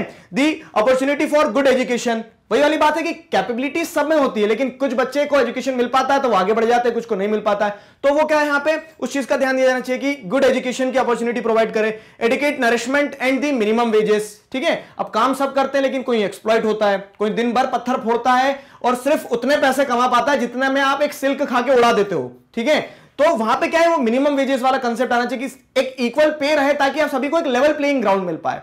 आए ना समझ में? तो इस तरह से सोशल इक्वलिटी की बात की गई कि सामाजिक स्तर पे जाके क्या होगा गवर्न यहाँ पे हाँ अब देखो in the absence of such facilities it is exceedingly difficult for all members of the society to compete on equal terms आगे ना समझ में? अगर मान लो कि ये जो डायमेंशन बताए मैंने आपको, ये इक्वालिटीज नहीं है तो क्या हो जाता है डिफ़िकल्ट हो जाता है सोसाइटी के हर मेंबर के लिए कि वो इक्वल फ्रंट पे क्या कर पाए कंपीट कर पाए। ठीक है? वो इक्वल फ्रंट पे कंपीट नहीं कर पाते हैं। इसीलिए सोशल इक्वालिटी बहुत ज़्यादा ज़रूरी है। और इस सेंस में सोशल इक्वालिटी का मतलब क्या हो गया? इक्वालिटी ऑफ़ अपॉर्चुनिटी प्रोवाइड करना कि आप सबको इक्वल अपॉर्चुनिटी प्रोवाइड कर दो। ठीक है? तो बाय लॉ तो आपने लीगल हर्डल्स हटा दिए लेकिन आपको लॉ से ऊपर जाके भी एक एक्स्ट्रा इनिशिएटिव लेना होगा ताकि जो लोग पीछे रह गए उन्हें आगे ले आओ आप। सोसाइटी में इक्वालिटी स्टैब्लिश कर सको, ठीक है? तो थ्री डायमेंशन ऑफ़ इक्वालिटी में आपको समझ में आया ना? दूसरा डायमेंशन सोशल इक्वालिटी क्या कहना चाह रहा है? Social equality rest on providing equality of opportunity clear हुआ? इक्वालिटी इक्वालिटी ऑफ़ अपॉर्चुनिटी की जो बात की जाती है ना तो इंडिया में जो सिचुएशन है वो डुअल चैलेंजेस के साथ में आती है। मतलब जैसे आपको इतनी चीज़ समझ में आ गई होगी, अगर हम कंक्लूड करें कि सोशल इक्वालिटी में फैसिलिटीज़ प्रोवाइड करना इंफ्रास्ट्रक्चर देना आता है, ठीक है? कि इंफ्रास्ट्रक्चर दे दो ताकि सब लेवल प्लेइंग ग्राउंड पे जाए, सब बराबर हो जाए। लेकिन इंडिया में दो समस्याएँ हैं सोशल इक्वालिटी की जब बात की जाती है। एक तो फैसिलिटीज़ की समस्या है ही है, ठीक है? साथ ही साथ में और क्या समस्या देखो? तो equal opportunities come comes not just from lack of facilities lack of facilities तो है ही है but from some of the customs which may prevail in different part of the country तो हमारे यहाँ सोशल इक्वालिटी में समस्या यह है कि फैसिलिटीज़ की कमी है, वो तो वर्ल्ड में सभी जगह है और इस कारण से सोशल इनइक्वालिटीज है। लेकिन हमारे यहाँ समस्या ये कि हमारे यहाँ कुछ कस्टम्स भी ऐसे हैं जो सोसाइटल लेवल पे इनइक्वालिटी को बढ़ावा देते हैं। जैसे क्या कस्टम हो गए? जैसे कस्टम की बात की जाए तो कास्ट सिस्टम ठीक है?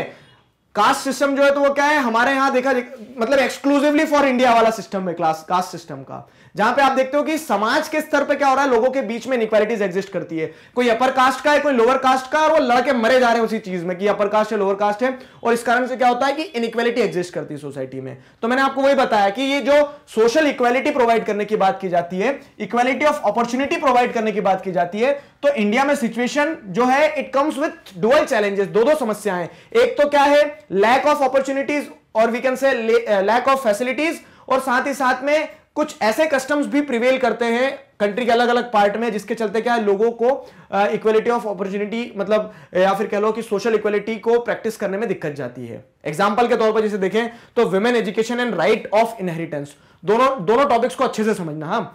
अब देखो क्या होता है बाय लॉ हम देखेंगे तो फंडामेंटल राइट right क्या है हमारा? राइट टू एजुकेशन एक फंडामेंटल राइट आता है बाय लॉ आर्टिकल कौन सा है? बताना मुझे कमेंट सेक्शन में, मैंने इंडियन कॉन्स्टिट्यूशन नेटवर्क वाली बुक में पढ़ा है अच्छे से। ठीक है? तो विमेन एजुकेशन क्या है हमारा एक तरह से देखा जाए तो विमेन एजुकेशन हमारा फंडा फंडामेंटल राइट है मतलब क्योंकि राइट टू एजुकेशन है तो उसमें विमेन भी आ गए मेन भी आ गए, सब आ गए। ठीक है? लेकिन अब वो पॉलिटिकल राइट तो दे दिया आपको, लेकिन सोसाइटल लेवल पे क्या हो रहा है? सोसाइटल लेवल पे पहली चीज़ तो ये है कि गवर्नमेंट ने जैसे इंफ्रास्ट्रक्चर भी बना दिया। मान लो कि इक्वल अपॉर्चुनिटी में हिंड्रेंस क्या थी? फैसिलिटी नहीं है। गवर्नमेंट ने स्कूल भी बना दिया। लेकिन कस्टम्स कैसे चले आ रहे हैं? पुरुष प्रधान समाज है, हम महिलाओं को नहीं पढ़ाते हैं। ठीक है, हम यहाँ मान के चलते हैं क्या कि घर में अगर दो बच्चे हैं तो किसको प्रेफरेंस दी जाएगी? मेल को प्रेफरेंस दे दो, क्योंकि किसको पढ़ा लो? लड़की का तो क्या है, शादी करवाना है, घर चलाएगी वो। तो ऐसी सोच है ना तो सोच के चलते क्या हो रहा है? सोच के चलते इनइक्वालिटी एग्जिस्ट करती है। आगे समझ में? तो सोशल इक्वालिटी एस्टेब्लिश करने की जब बात आती है, खास करके इंडिया के केस में तो इंडिया के केस में सोशल इक्वालिटी को एग्जिस्ट एस्टेब्लिश करने में डुअल चैलेंजेस हैं। पहला फैसिलिटी वाला फैसिलिटी के चैलेंज को अगर ओवरकम कर भी जाओगे तो समस्या कहाँ खड़ी है? तो समस्या खड़ी है कस्टम्स में हमारी सोच में हमारी प्रैक्टिस में हमारी सोसाइटल थिंकिंग में ठीक है? उसे भी ओवरकम ओवरकम करना एक बड़ा चैलेंज होता है। जैसे एक, एग्जांपल वुमेन एजुकेशन का दिया। एक ऐसे एग्जांपल है राइट ऑफ़ इनहेरिटेंस तो बाय लॉ जो संपत्ति मेरी होगी ठीक है? अभी जो कि कुछ नहीं है। तो अब मेरी जो संपत्ति होगी वो क्या होगी? मेरे बच्चों में बांट दी जाएगी ठीक है? अब मेरे बच्चों में मतलब क्या? मेरे लड़के को भी मिलेगी मेरी लड़की को भी मिलेगी मेरी प्रॉपर्टी लेकिन अब हमारे यहाँ क्या है, देखो पॉलिटिकल इक्वालिटी दे दी कि लड़के लड़की सभी को प्रॉपर्टी मिलेगी, ठीक है? 2005 में और जो हिंदू सक्सेशन एक्ट था, उसमें भी अमेंडमेंट करके ये बोल दिया गया, पहले लड़कों को ही मिलती थी, ठीक है? अब क्या बोल दिया गया लड़के लड़की सभी को मिलेगी। क्या? प्रॉपर्टी में इक्वल हक मिलेगा। लेकिन कस्टम्स क्या है कि लड़कियाँ अगर प्रॉपर्टी में हिस्सा मांग लेती है ना तो बस भैया, पूछो ही मत। बोल देते कि हाँ अब क्योंकि बाय लॉ तो है तो देना पड़ेगा हिस्सा प्रॉपर्टी में। तो प्रॉपर्टी में हिस्सा तो दे देंगे लड़कियों को, लेकिन भाई लोग क्या बोल देते हैं कि आज से तुम हमारी बहन नहीं, जाओ, ठीक है? सब मतलब रिश्ते नाते तोड़ दिए। तो इस तरह से क्या है कि कस्टम्स जो है हमारे, वो हमारे कस्टम्स हिंड्रेंस का काम कर रहे हैं इन स्टैब्लिशिंग सोशल इक्वालिटी तो ये एग्ज़ाम्पल समझ पाया ना दोनों कि किस तरह से पॉलिटिकल इक्वालिटी दे देना सफिशियंट नहीं है। गवर्नमेंट को सोशल इक्वालिटी पे भी काम करना होगा। उस सोशल इक्वालिटी में भी आप फैसिलिटीज़ प्रोवाइड करो फैसिलिटीज़ के साथ साथ में आपको कस्टम्स पे भी ध्यान देना होगा कि वो कस्टम्स को कैसे अकोमोडेट किया जाए, ठीक है? तो देखो, अब ये डोल चैलेंजेस है ना। क्या क्या चैलेंजेस अगर देखें तो सोशल इक्वलिटी स्टैब्लिश करने के लिए सबसे पहले आपको फैसिलिटीज़ लाना होगी। तो उस उस केस में क्या होता है? उस केस में state has a significant role to play in such matters state क्या करे?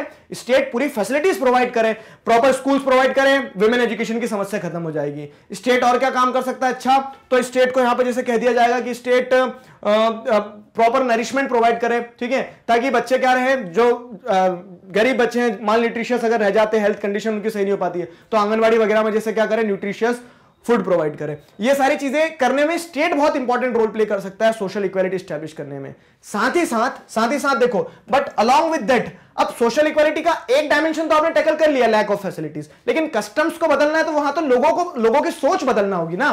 तो along with that social groups and individuals also have a role to play in raising awareness and supporting those who want to exercise their rights आप में से मतलब देखो, अब video देख रहे हैं ना, मुझे नहीं पता वीडियो कौन कौन देख रहा है। कश्मीर में भी बच्चे देख रहे होंगे, कर्नाटक में भी देख रहे होंगे, तमिलनाडु में देख रहे होंगे, नॉर्थ ईस्टर्न स्टेट में भी देख रहे होंगे। लेकिन, आप में से कुछ अगर मैंने जितने एग्जाम्पल्स दिए हैं, इन एग्जाम्पल्स को रिलेट कर पा रहे हो अगर, ठीक है? आपको अगर ऐसा लग रहा है कि हाँ ये स्टोरी तो आपके घर की, आपके परिवार की, आपके समाज की है, ठीक है? तो आप एक प्रण लो। ये जो सेकंड एग्जांपल है, आप ही के लिए है। क्या? कि सोशल इक्वालिटी स्टैब्लिश करने में गवर्नमेंट तो करेगी ही करेगी अपना काम। ठीक है गवर्नमेंट फैसिलिटीज़ प्रोवाइड कर देगी। लेकिन जो दूसरा चैलेंज है कि कस्टम्स जो हमारी सोच जो है तो उसको बदलने में क्या होता है? सोशल ग्रुप्स और इंडिविजुअल्स इंपॉर्टेंट रोल प्ले कर सकते हैं। अगर आप इन सारी जो एग्जाम्पल्स मैंने बताया थे पॉलिटिकल थ्योरी बुक को एक साइड रखो, जो एग्जांपल्स अभी हमने डिस्कस किए ऐसी समस्याएँ हैं अगर कहीं पे। कैसी समस्याएँ हैं? कि अगर कहीं पे आप देख रहे हैं कि विमेन एजुकेशन को नेग्लेक्ट किया जाता है।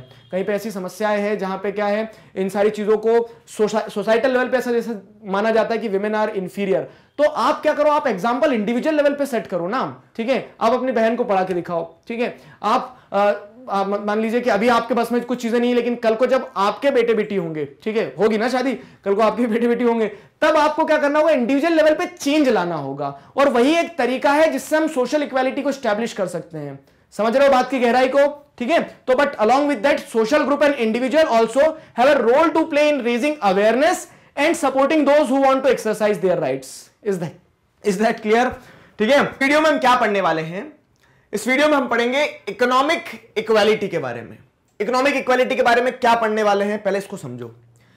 हम लोग ये देख रहे हैं कि अलग अलग डायमेंशन होते हैं इक्वालिटी इक्वालिटी को सिर्फ़ आप एक फ्रंट पे अचीव नहीं कर सकते कि जेंडर इक्वालिटी ले आए मतलब इक्वालिटी आ गई है। इक्वालिटी अलग अलग तरह से आपको इंश्योर करना होगी। क्यों? क्योंकि अलग अलग डायमेंशन पे इनइक्वालिटी एग्जिस्ट करती है। तो किन किन डायमेंशन पे इक्वालिटी लाना है हम? तीन डायमेंशन पढ़ने वाले हैं। पॉलिटिकल डायमेंशन हमने पढ़ लिया पिछले वीडियो में। दूसरा हमने क्या देखा कि इक्वालिटी जो है आपको सोशल डायमेंशन पे, सामाजिक स्तर पे भी समानताएँ लाना होगी। तो हमने वो भी देखा। अब इक्वालिटी इक्वालिटी की जब हम बात करते तो पॉलिटिकल इक्वालिटी में मैंने आपको जैसे बताया था क्या कि पॉलिटिकल इक्वालिटी देने से लीगल हर्डल्स जो है, वो खत्म हो जाते हैं, ठीक है? लीगल हर्डल्स खत्म हो जाते हैं, जो भी हिंडरेंस होती है, वो खत्म हो जाती है लीगल लेवल पे, ठीक है? अब फिर पॉलिटिकल इक्वालिटी जब दे देते हो, आप सभी को इक्वल वोटिंग राइट दे दिया है। लेकिन सोसाइटी भी तो उस तरह से सोचना चाहिए कि सभी लोग इक्वल है मेल फीमेल इक्वल है upper caste lower caste equal है। तो आपको सोसाइटल लेवल पे भी इक्वालिटी लाना होगी इक्वालिटी ऑफ़ अपॉर्चुनिटी का ध्यान रखना होगा। वो सारी चीज़ें हम अभी तक पिछले वीडियोस में समझ चुके हैं। अब हम क्या पढ़ने वाले हैं? अब हम तीसरा डायमेंशन देखेंगे इक्वालिटी का, जो कुछ हद तक सोशल इक्वालिटी से जुड़ा हुआ है, ठीक है? और जो कुछ हद तक पॉलिटिकल इक्वालिटी से जुड़ा हुआ है, ठीक है? एक मिक्स मैच है, उसे समझो। वो है इकोनॉमिक इक्वालिटी अब इकोनॉमिक इक्वालिटी की जब हम बात करते हैं ना तो इकोनॉमिक इक्वालिटी को थोड़ा सा रिकैप करो। इकोनॉमिक्स आपने पढ़ा टेंथ क्लास में। अब इकोनॉमिक्स जो आपने पढ़ा तो इकोनॉमिक्स को आप मनी इकोनॉमी इन टर्म्स में देखते हो। ठीक है? इकोनॉमिक्स को आप क्या करते हो? मनी और इकोनॉमी इन टर्म्स में देखते हो। कैसे? कि जब भी हम इकोनॉमी की बात करते हैं तो हर चीज़ को मॉनेटरी वैल्यू से कनेक्ट करने की कोशिश करते हैं। हम देखते हैं कि इकोनॉमी में किस तरह से चीज़ें चल रही है, कहाँ से पैसा आ रहा है, कहाँ को जा रहा है। ठीक है? अलग अलग सेक्टर्स को पढ़ते हैं। हर चीज़ को मॉनेटरी टर्म्स में देखने की कोशिश करते हैं। तो उसी तरह से इकोनॉमिक्स क्या है? मनी या इकोनॉमी है एट दी सिंपलेस्ट लेवल तो अब उसी सिंपलेस्ट लेवल पे अगर हम इकोनॉमिक इक्वालिटी को समझने की कोशिश करते हैं तो इकोनॉमिक इक्वालिटी क्या होता है? कि it refers to the availability of equal wealth proper distribution of income between individuals और क्लासेस इंडिविजुअल्स और क्लासेस के बीच में आप इक्वल वेल्थ को जब डिस्ट्रीब्यूट कर देते हो, ठीक है? इंडिविजुअल्स और क्लासेस के बीच में जब आप इक्वल वेल्थ को डिस्ट्रीब्यूट कर देते हो तो वो क्या कहलाता है? वो इकोनॉमिक इक्वालिटी कहलाता है.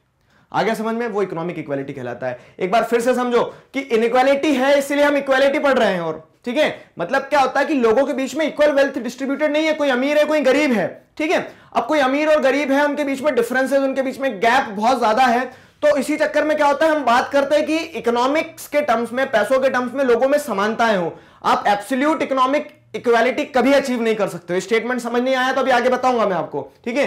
लेकिन हम क्या करते हैं, प्रयास करते हैं कि जो डिफरेंसेस हैं in terms of wealth proper distribution of income ठीक है? तो हम उसे कम कर सके। और उसे जब कम करते हो, आप तो वही इकोनॉमिक इक्वालिटी कहलाती इकोनॉमिक जस्टिस कहलाता है। क्लियर हुआ? ठीक है? तो दी सिग्निफिकेंट डिफरेंसेस और disparities is known as economic inequalities और हम इक्वालिटी की बात क्यों करते हैं? क्योंकि इनइक्वालिटी एग्जिस्ट करती है। तो जब लोगों के बीच में क्या होता है? इक्वल वेल्थ नहीं होती है। ठीक है? जब लोगों के बीच में जो डिस्ट्रीब्यूशन है वेल्थ का इनकम का, वो क्या होता है? वो अनइवन होता है। तो ये जो सिग्निफिकेंट डिफरेंसेस ऐसे देखने को मिलते हैं, उन सिग्निफिकेंट डिफरेंसेस को आप क्या कहते हो? इकोनॉमिक इनइक्वालिटीज कहते हो। ठीक है? उन सिग्निफिकेंट डिफरेंसेस को आप इकोनॉमिक इनइक्वालिटीज कहते हो।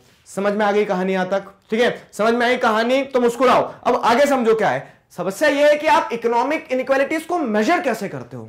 आपको बुखार आता है तो आप टेम्परेचर मेजर कर लेते हो, लेकिन यहाँ पे इकोनॉमिक्स की बात की जा रही तो आप मेजर कैसे करोगे? तो इकोनॉमिक में इकोनॉमी में बुखार का काम पैसा करता है।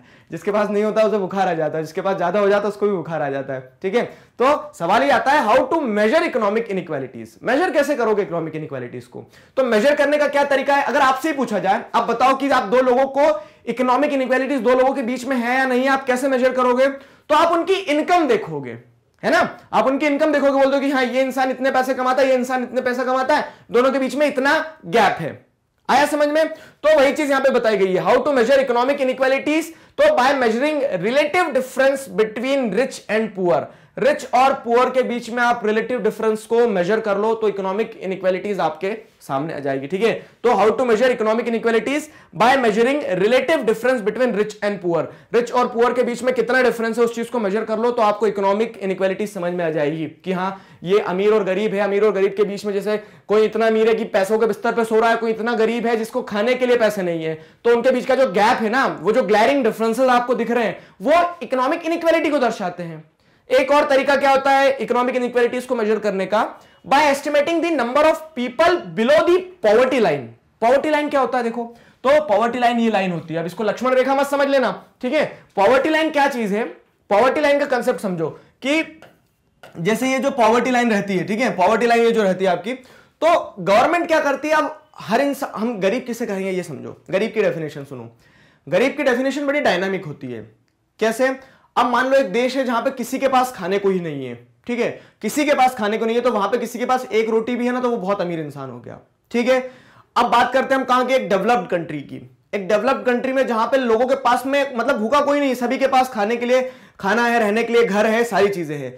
अब क्या होता है कि majority of them are having car सभी के पास में कार है, एक इंसान के पास कार नहीं है। तो जिसके पास कार नहीं है, वो इंसान क्या हो जाएगा? वहाँ पे गरीब हो जाएगा। आगे समझ में? कार नहीं है तो सब सोसाइटी वाले क्या बोलेंगे? बेचारा गरीब है, कार नहीं है। ठीक है? तो पॉवर्टी की डेफिनेशन क्या है? बहुत डायनामिक है। अब आप किसे गरीब कहोगे, किसे गरीब नहीं कहोगे तो डिपेंड करता है आपकी कंट्री की इकोनॉमिक पोजीशन पे कि आपकी कंट्री की इकोनॉमिक पोजीशन क्या है। तो उसी चीज़ से पॉवर्टी लाइन का कंसेप्ट निकल के आया कि गवर्नमेंट क्या करती है? एक मिनिमम क्राइटेरिया सेट कर देती है या फिर कह सकते हैं। कि गवर्नमेंट एस्टिमेट लगा लेती कि इतना पैसा जिस इंसान के पास में होगा, वो एक लाइफ जी सकता है, ठीक है? मतलब जो बेसिक नेसेसिटीज होती है लाइफ जीने के लिए, वो उसे पूरी कर सकता है। लग्जरी की बात नहीं कर रहे हम, ठीक है? ऐसा नहीं है कि गवर्नमेंट ने पॉवर्टी लाइन जो सेट कर दी है तो इससे ऊपर जितने भी लोग हैं, सब फाइव स्टार होटल में खाते हैं। ऐसा नहीं है। मतलब इस लाइन से ऊपर जो भी लोग होंगे, लाइन क्या होगी? लाइन मतलब एस्टिमेटेड अमाउंट होगा। अब मुझे एक होमवर्क देता हूँ, मैं चलो आपको। क्या आप एस्टिमेट करोगे कि हमारी कंट्री की पॉवर्टी लाइन जो है, कितने पैसे पे फिक्स की गई है? मतलब रुपए में डॉलर में, जो देखना है आपको तो कितने रुपए पे फिक्स की गई है पॉवर्टी लाइन आज के मतलब 2011 के सेंसस के हिसाब से देखना, ठीक है? टेंथ में नाइन्थ में पढ़ा ये सारी चीज़ें आपने। तो अब क्या होता है कि पॉवर्टी लाइन गवर्नमेंट सेट कर देती है कि मिनिमम इतना इनकम जिसके पास होता है, वो क्या कर सकता है? कह सकते हैं बेसिक नेसेसिटीज अपनी लाइफ की पूरी कर सकता है। उससे नीचे जो लोग रहेंगे मतलब वो क्या है कि वो पॉवर्टी लाइन से नीचे हैं, वो गरीब है, वो पॉवर्टी के अंदर जी रहे हैं। तो अब क्या होगा कि अगर मेजोरिटी ऑफ़ प्रोपोर्शन जैसे हंड्रेड परसेंट पॉपुलेशन है आपकी तो हंड्रेड परसेंट पॉपुलेशन में से अगर एक बड़ा हिस्सा जो इस पॉवर्टी लाइन के नीचे जीता है तो उसका मतलब क्या है कि इनक्वेलिटीज एग्जिस्ट करती है, ठीक है? इनक्वेलिटीज एग्जिस्ट करती है। एक बड़ा हिस्सा अगर पॉवर्टी लाइन के नीचे है तो कुछ लोग जो होंगे पॉवर्टी लाइन के ऊपर होंगे, और दोनों के बीच में क्या है? डिफरेंसेस हैं इन टर्म्स ऑफ़ वेल्थ और डिस्ट्रीब्यूशन ऑफ़ इनकम तो इस तरह से आप क्या करते हो? मेजर करते हो किस चीज़ को? पॉवर्टी को। अब पॉवर्टी मतलब पॉवर्टी को मेजर करते हो या फिर आप कह लो किस चीज़ से आप मेजर करते हो इकोनॉमिक इनइक्वालिटीज को। इकोनॉमिक इनइक्वालिटीज हैं तभी हम इकोनॉमिक इक्वालिटी की बात करते हैं और ठीक है? क्योंकि इकोनॉमिक इनइक्वालिटीज एग्जिस्ट करती है इसीलिए हम इक्वालिटी की बात करते हैं। समझ में आया कंसेप्ट यहाँ तक? अगर आप इतना समझ पाए तो आप एक बेसिक आइडिया लग गया आपको। अब चलो दू, दूसरी सीढ़ी पे चलते हैं हम। दूसरी सीढ़ी क्या है हमारी? कि society can never achieve absolute economic equality and it never existed also ठीक है? चक्री लगी क्या ज़ोर से सिर में? अभी समझो क्या चीज़ है ये। हम इकोनॉमिक इनइक्वालिटी की बात करते हैं कि अमीर और गरीब के बीच में फ़र्क है। In terms of wealth in terms of income फ़र्क है भैया, ठीक है? अब लेकिन सवाल यह आता है हमारे सामने। क्या सवाल आता है कि जो इकोनॉमिक इनइक्वालिटीज हैं, इन इनइक्वालिटीज को कम कैसे किया जाए? क्या दोनों को बराबर पे ला सकते हो? तो नहीं, बराबर पे कभी नहीं आएगा। तो society can never achieve absolute economic equality मतलब कि सभी की इनकम एक जैसी हो जाए, ये कभी हो ही नहीं सकता है, और ना ये कभी हुआ है। क्यों? क्योंकि सोसाइटी में हमेशा से ही किसी के पास ज़्यादा पैसा रहता है, ठीक है, किसी के पास कम रहता है। ठीक है तो इस तरह से क्या उन्नीस बीस उन्नीस बीस चलता रहता है। लेकिन वो उन्नीस बीस चले तो अच्छा है। आया समझ में? उन्नीस बीस चले मतलब क्या है कि कोई किसी के पास एक हज़ार रुपए, किसी के पास आठ सौ रुपए है तो चलेगा। अगर इनक्वालिटीज ऐसी है कि किसी के पास में एक हज़ार है और किसी के पास में दस रुपए हैं तो क्या होगा? तो दर्द होगा। ठीक है? तो समस्याएँ आएगी सोसाइटी में। मतलब एक सेक्शन बहुत ज़्यादा डिप्राइव्ड है और एक सेक्शन बहुत ज़्यादा लग्जरियस लाइफ जी रहा है। ठीक है? तो सोसाइटी एब्सोल्यूट इकोनॉमिक इक्वालिटी कभी अचीव नहीं कर सकती है, जो कि कभी हुई भी नहीं है। हिस्ट्री से अगर आप उठा के देखोगे तो हमेशा डिस्पैरिटी रही है। ठीक है? But most democracies today try to make equal opportunity available to the people ठीक है? सोसाइटी क्या एब्सोल्यूट इकोनॉमिक इक्वालिटी पे नहीं आ सकती है, लेकिन अधिकतर डेमोक्रेसीज क्या ट्राई करती है? अधिकतर डेमोक्रेसीज ये ट्राई करती है कि वो इक्वल अपॉर्चुनिटी दे सके लोगों को। अब देखो इक्वल अपॉर्चुनिटी देने की क्यों बात की जा रही है? इस चीज़ को अच्छे से समझना ये मैंने आपको सोशल इक्वालिटी में भी थोड़ा सा समझाया था। क्या होता है कि इकोनॉमिक इनइक्वालिटीज हैं। अब एक फैमिली के पास में तो बहुत पैसा एक फैमिली के पास पैसा नहीं है। जिसके पास पैसा उन्होंने अपने बच्चे को पढ़ाया, वो बच्चा पढ़ के और पैसा कमा रहा पैसे से पैसा बना लिया उन्होंने। अब इनइक्वालिटीज के चलते जिसके पास पैसा नहीं है, वो अपने बच्चे को नहीं पढ़ाएगा। उसने अपने बच्चों को नहीं पढ़ाया तो क्या होगा कि उसके बच्चे पढ़ नहीं पाए तो वो क्या करते रह जाएँगे? वो सेकेंडरी लेवल पे ही रह जाएँगे। ठीक है? अब देखो, ऐसा नहीं कि जो पढ़ नहीं पाता कुछ कर नहीं पाता जीवन में। ठीक है? ये सोच के तुम कापी किताब बंद करके बस बाहर मत निकल जाना। सुनो बुरी बात। लेकिन होता क्या है कि वो पढ़ नहीं पाया तो वो एजुकेशन की इंपॉर्टेंस नहीं समझेगा। एजुकेशन जो है, हमेशा education is not equal to money पैसा कमाने के लिए नहीं पढ़ा जाता है। ठीक है? अपने आप को बढ़ाने के लिए पढ़ा जाता है। समझना? एजुकेशन का सही डेफिनेशन ये है कि आप हमेशा एजुकेशन को पैसे से मत जोड़ना कभी भी। अगर पैसे से जोड़ के देखोगे तो आप एजुकेशन नहीं ले रहे हो या फिर एजुकेशन नहीं दे रहे हो, आप बिज़नेस कर रहे हो। आगे समझ में? तो आप देखो कि आप में स्किल्स आपका सोचने का तरीका कितना इंप्रूव होता है एजुकेशन के बाद में, आप में क्या स्किल्स आती है, आप क्या नया सीखते हैं, आप लाइफ को किस परस्पेक्टिव से देखते हैं, वो that is the true meaning of education आया समझ में? तो खैर, हमारी कहानी कहाँ थी? हाँ तो जिसने नहीं पढ़ाया तो अब क्या होगा? वो अपने बच्चों को भी नहीं पढ़ाएगा। एक विशेष साइकिल बन जाता है, ठीक है? इन्हें ऊपर आने का मौका नहीं मिल पाता, ये हमेशा ऊपर ही रहेंगे, ये हमेशा नीचे ही रहेंगे, ठीक? तो उस सेंस में क्या है कि आप एब्सोल्यूट इक्वालिटी तो नहीं ला सकते लेकिन डेमोक्रेटिक सोसाइटी जो होती है, वो क्या ट्राई करती है? ट्राई करते कि इक्वल अपॉर्चुनिटीज़ दे दी जाए, जो सोशल इक्वालिटी में भी प्रयास किया जाता है, ठीक है? कि इक्वल अपॉर्चुनिटीज़ दे दी जाए, ठीक है? Equal opportunities to people in the belief that this would at least give uh, that this this would at least give the, uh, those who have talent and determination the chance to improve their condition. अब समझो। देखना हाँ क्या है कि अब government school क्यों चलाती पता है आपको? मैं बहुत अच्छी आपको एक प्रैक्टिकल बात बताता हूँ। गवर्नमेंट स्कूल्स क्यों चलाती है?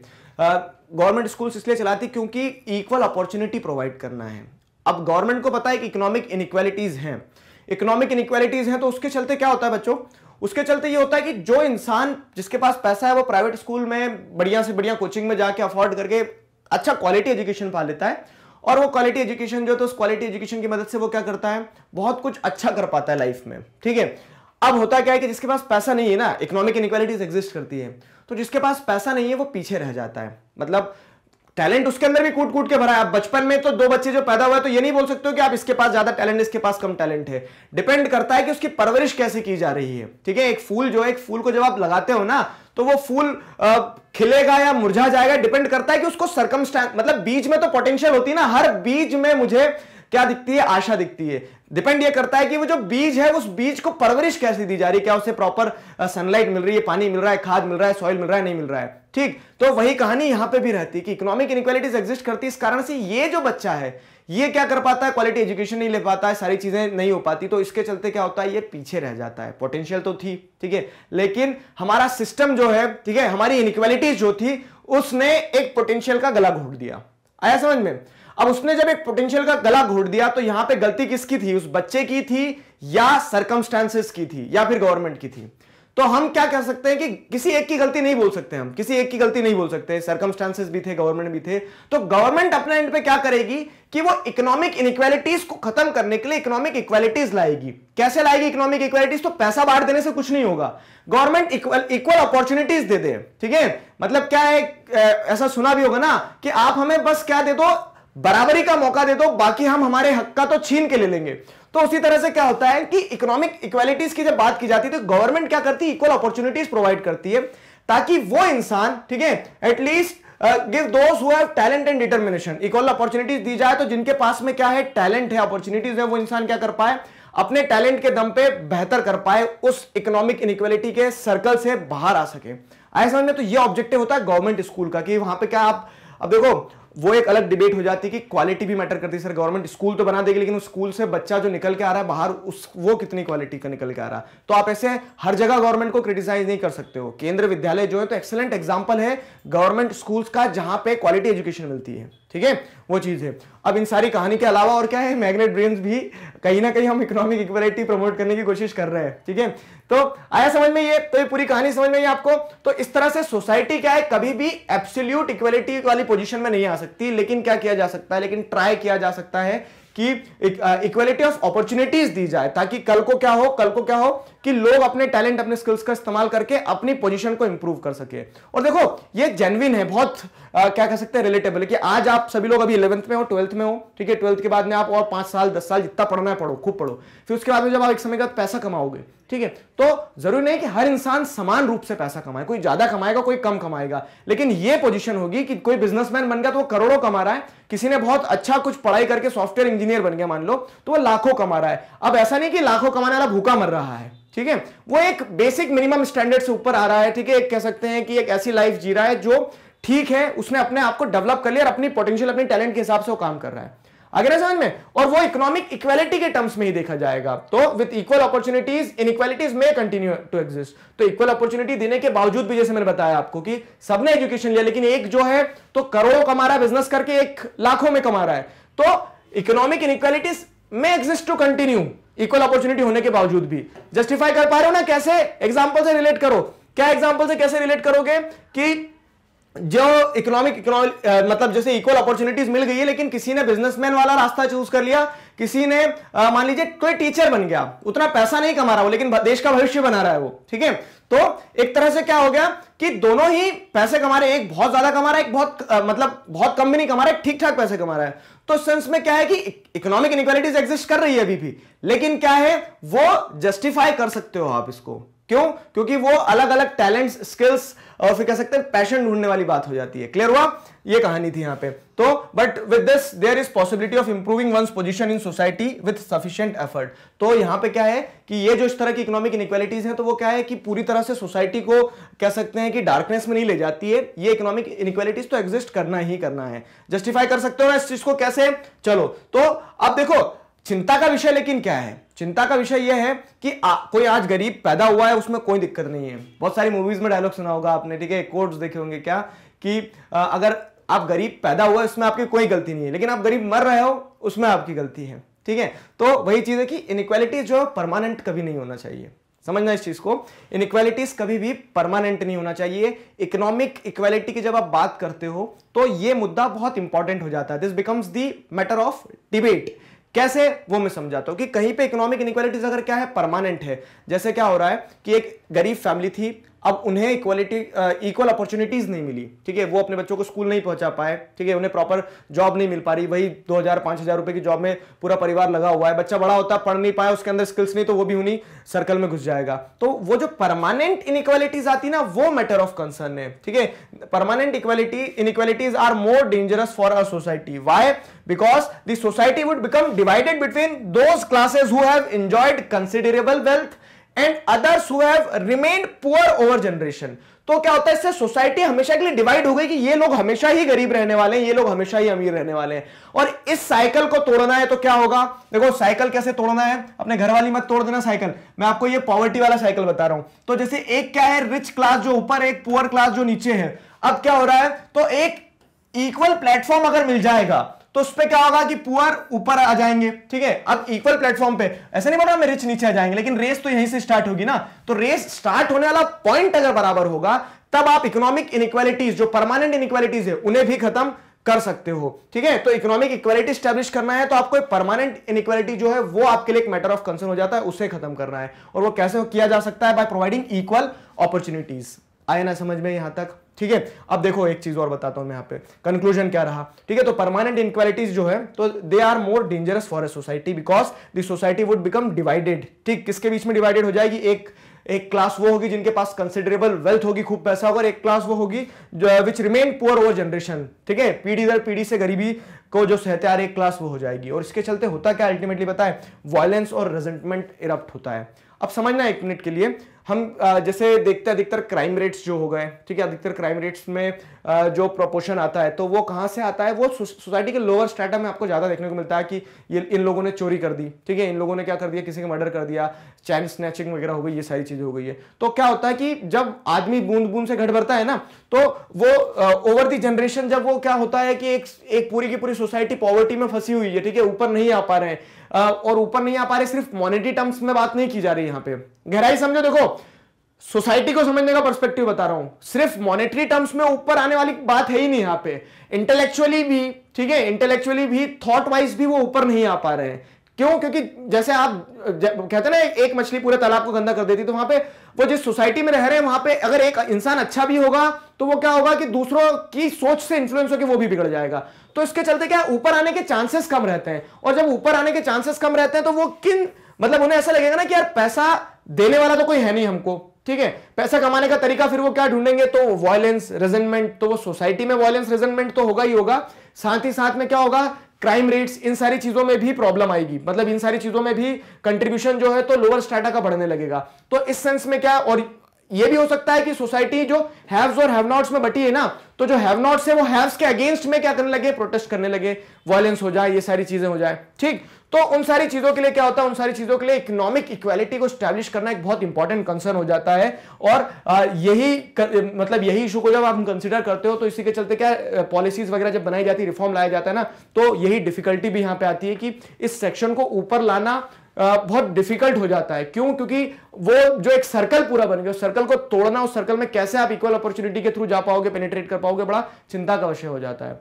और एक जो सबसे मतलब ये सब बुक बंद कर दो, अब बुक के अलावा जो मैं आपको बता रहा हूँ, एक जो सबसे अच्छा और सबसे पॉजिटिव कह सकते हैं कि वे हो सकता है, वो हो सकता है एजुकेशन सिर्फ़ एजुकेशन ठीक है? मतलब आपको पता नहीं चलेगा ऐसा कहा जाता ना कि शिक्षा उस शेरनी का दूध है कि जिसने भी पिया है, उसने दहाड़ा है। तो उसी तरह से क्या है कि आप एजुकेशन के थ्रू अगर इस सोसाइटी में पेनिट्रेट करने की कोशिश करोगे बिलीव मी बहुत मेरेकुलस रिज़ल्ट आपके सामने आएँगे। ऐसे आएँगे जो चौंका देंगे, ठीक है? तो ये सारा सब कुछ था इकोनॉमिक इक्वालिटी के बारे में, जो मैंने आपको बताया। I hope you got the concept ठीक? तीन तरह के डायमेंशन जो थे सोशल पॉलिटिक हाँ सोशल पॉलिटिकल और इकोनॉमिक इक्वालिटी वाले। तीनों डायमेंशन हमने आपको समझा दिए अब जैसे मैंने आपको बताया सोसाइटी हैव और हैव नॉट्स में डिवाइड हो जाती है। तो पता है बहुत सारी आइडियोलॉजीज जो है, वो इकोनॉमिक पोजीशन के ऊपर बेस्ड है। जैसे आप देखोगे मार्क्सिज्म जो हो गई, ठीक है? मार्क्सिज्म में जैसे आप कम्युनिज्म को समझोगे, फिर कैपिटलिज्म को सोशलिज्म को फेमिनिज्म को तो हम क्या करने वाले हैं? हम इक्वालिटी के पर्सपेक्टिव से ही चैप्टर के पर्सपेक्टिव से इकोनॉमिक इक्वालिटी के पर्सपेक्टिव से अब ये आइडियोलॉजीज को वन बाय वन समझने वाले हैं, ठीक है? मज़ा आएगा सारी आइडियोलॉजीज को अच्छे से समझना। So with this we come to an end of our topic ये टॉपिक हमारा कंप्लीट होता है। आशा करता हूँ चीज़ें यहाँ तक समझ में आई है। किसी प्रकार का डाउट है feel free to ask in comment section मिलते हैं नेक्स्ट वीडियो में अगले टॉपिक के साथ। और उससे पहले इंपॉर्टेंट चीज़ क्या है? मैग्नेट ब्रेन्स पर क्लास फोर्थ से क्लास ट्वेल्थ तक आपको इसी तरह से सभी सब्जेक्ट चैप्टर्स टॉपिक सब टॉपिक सब कुछ मिल जाएगा। See you there thank you thank you very much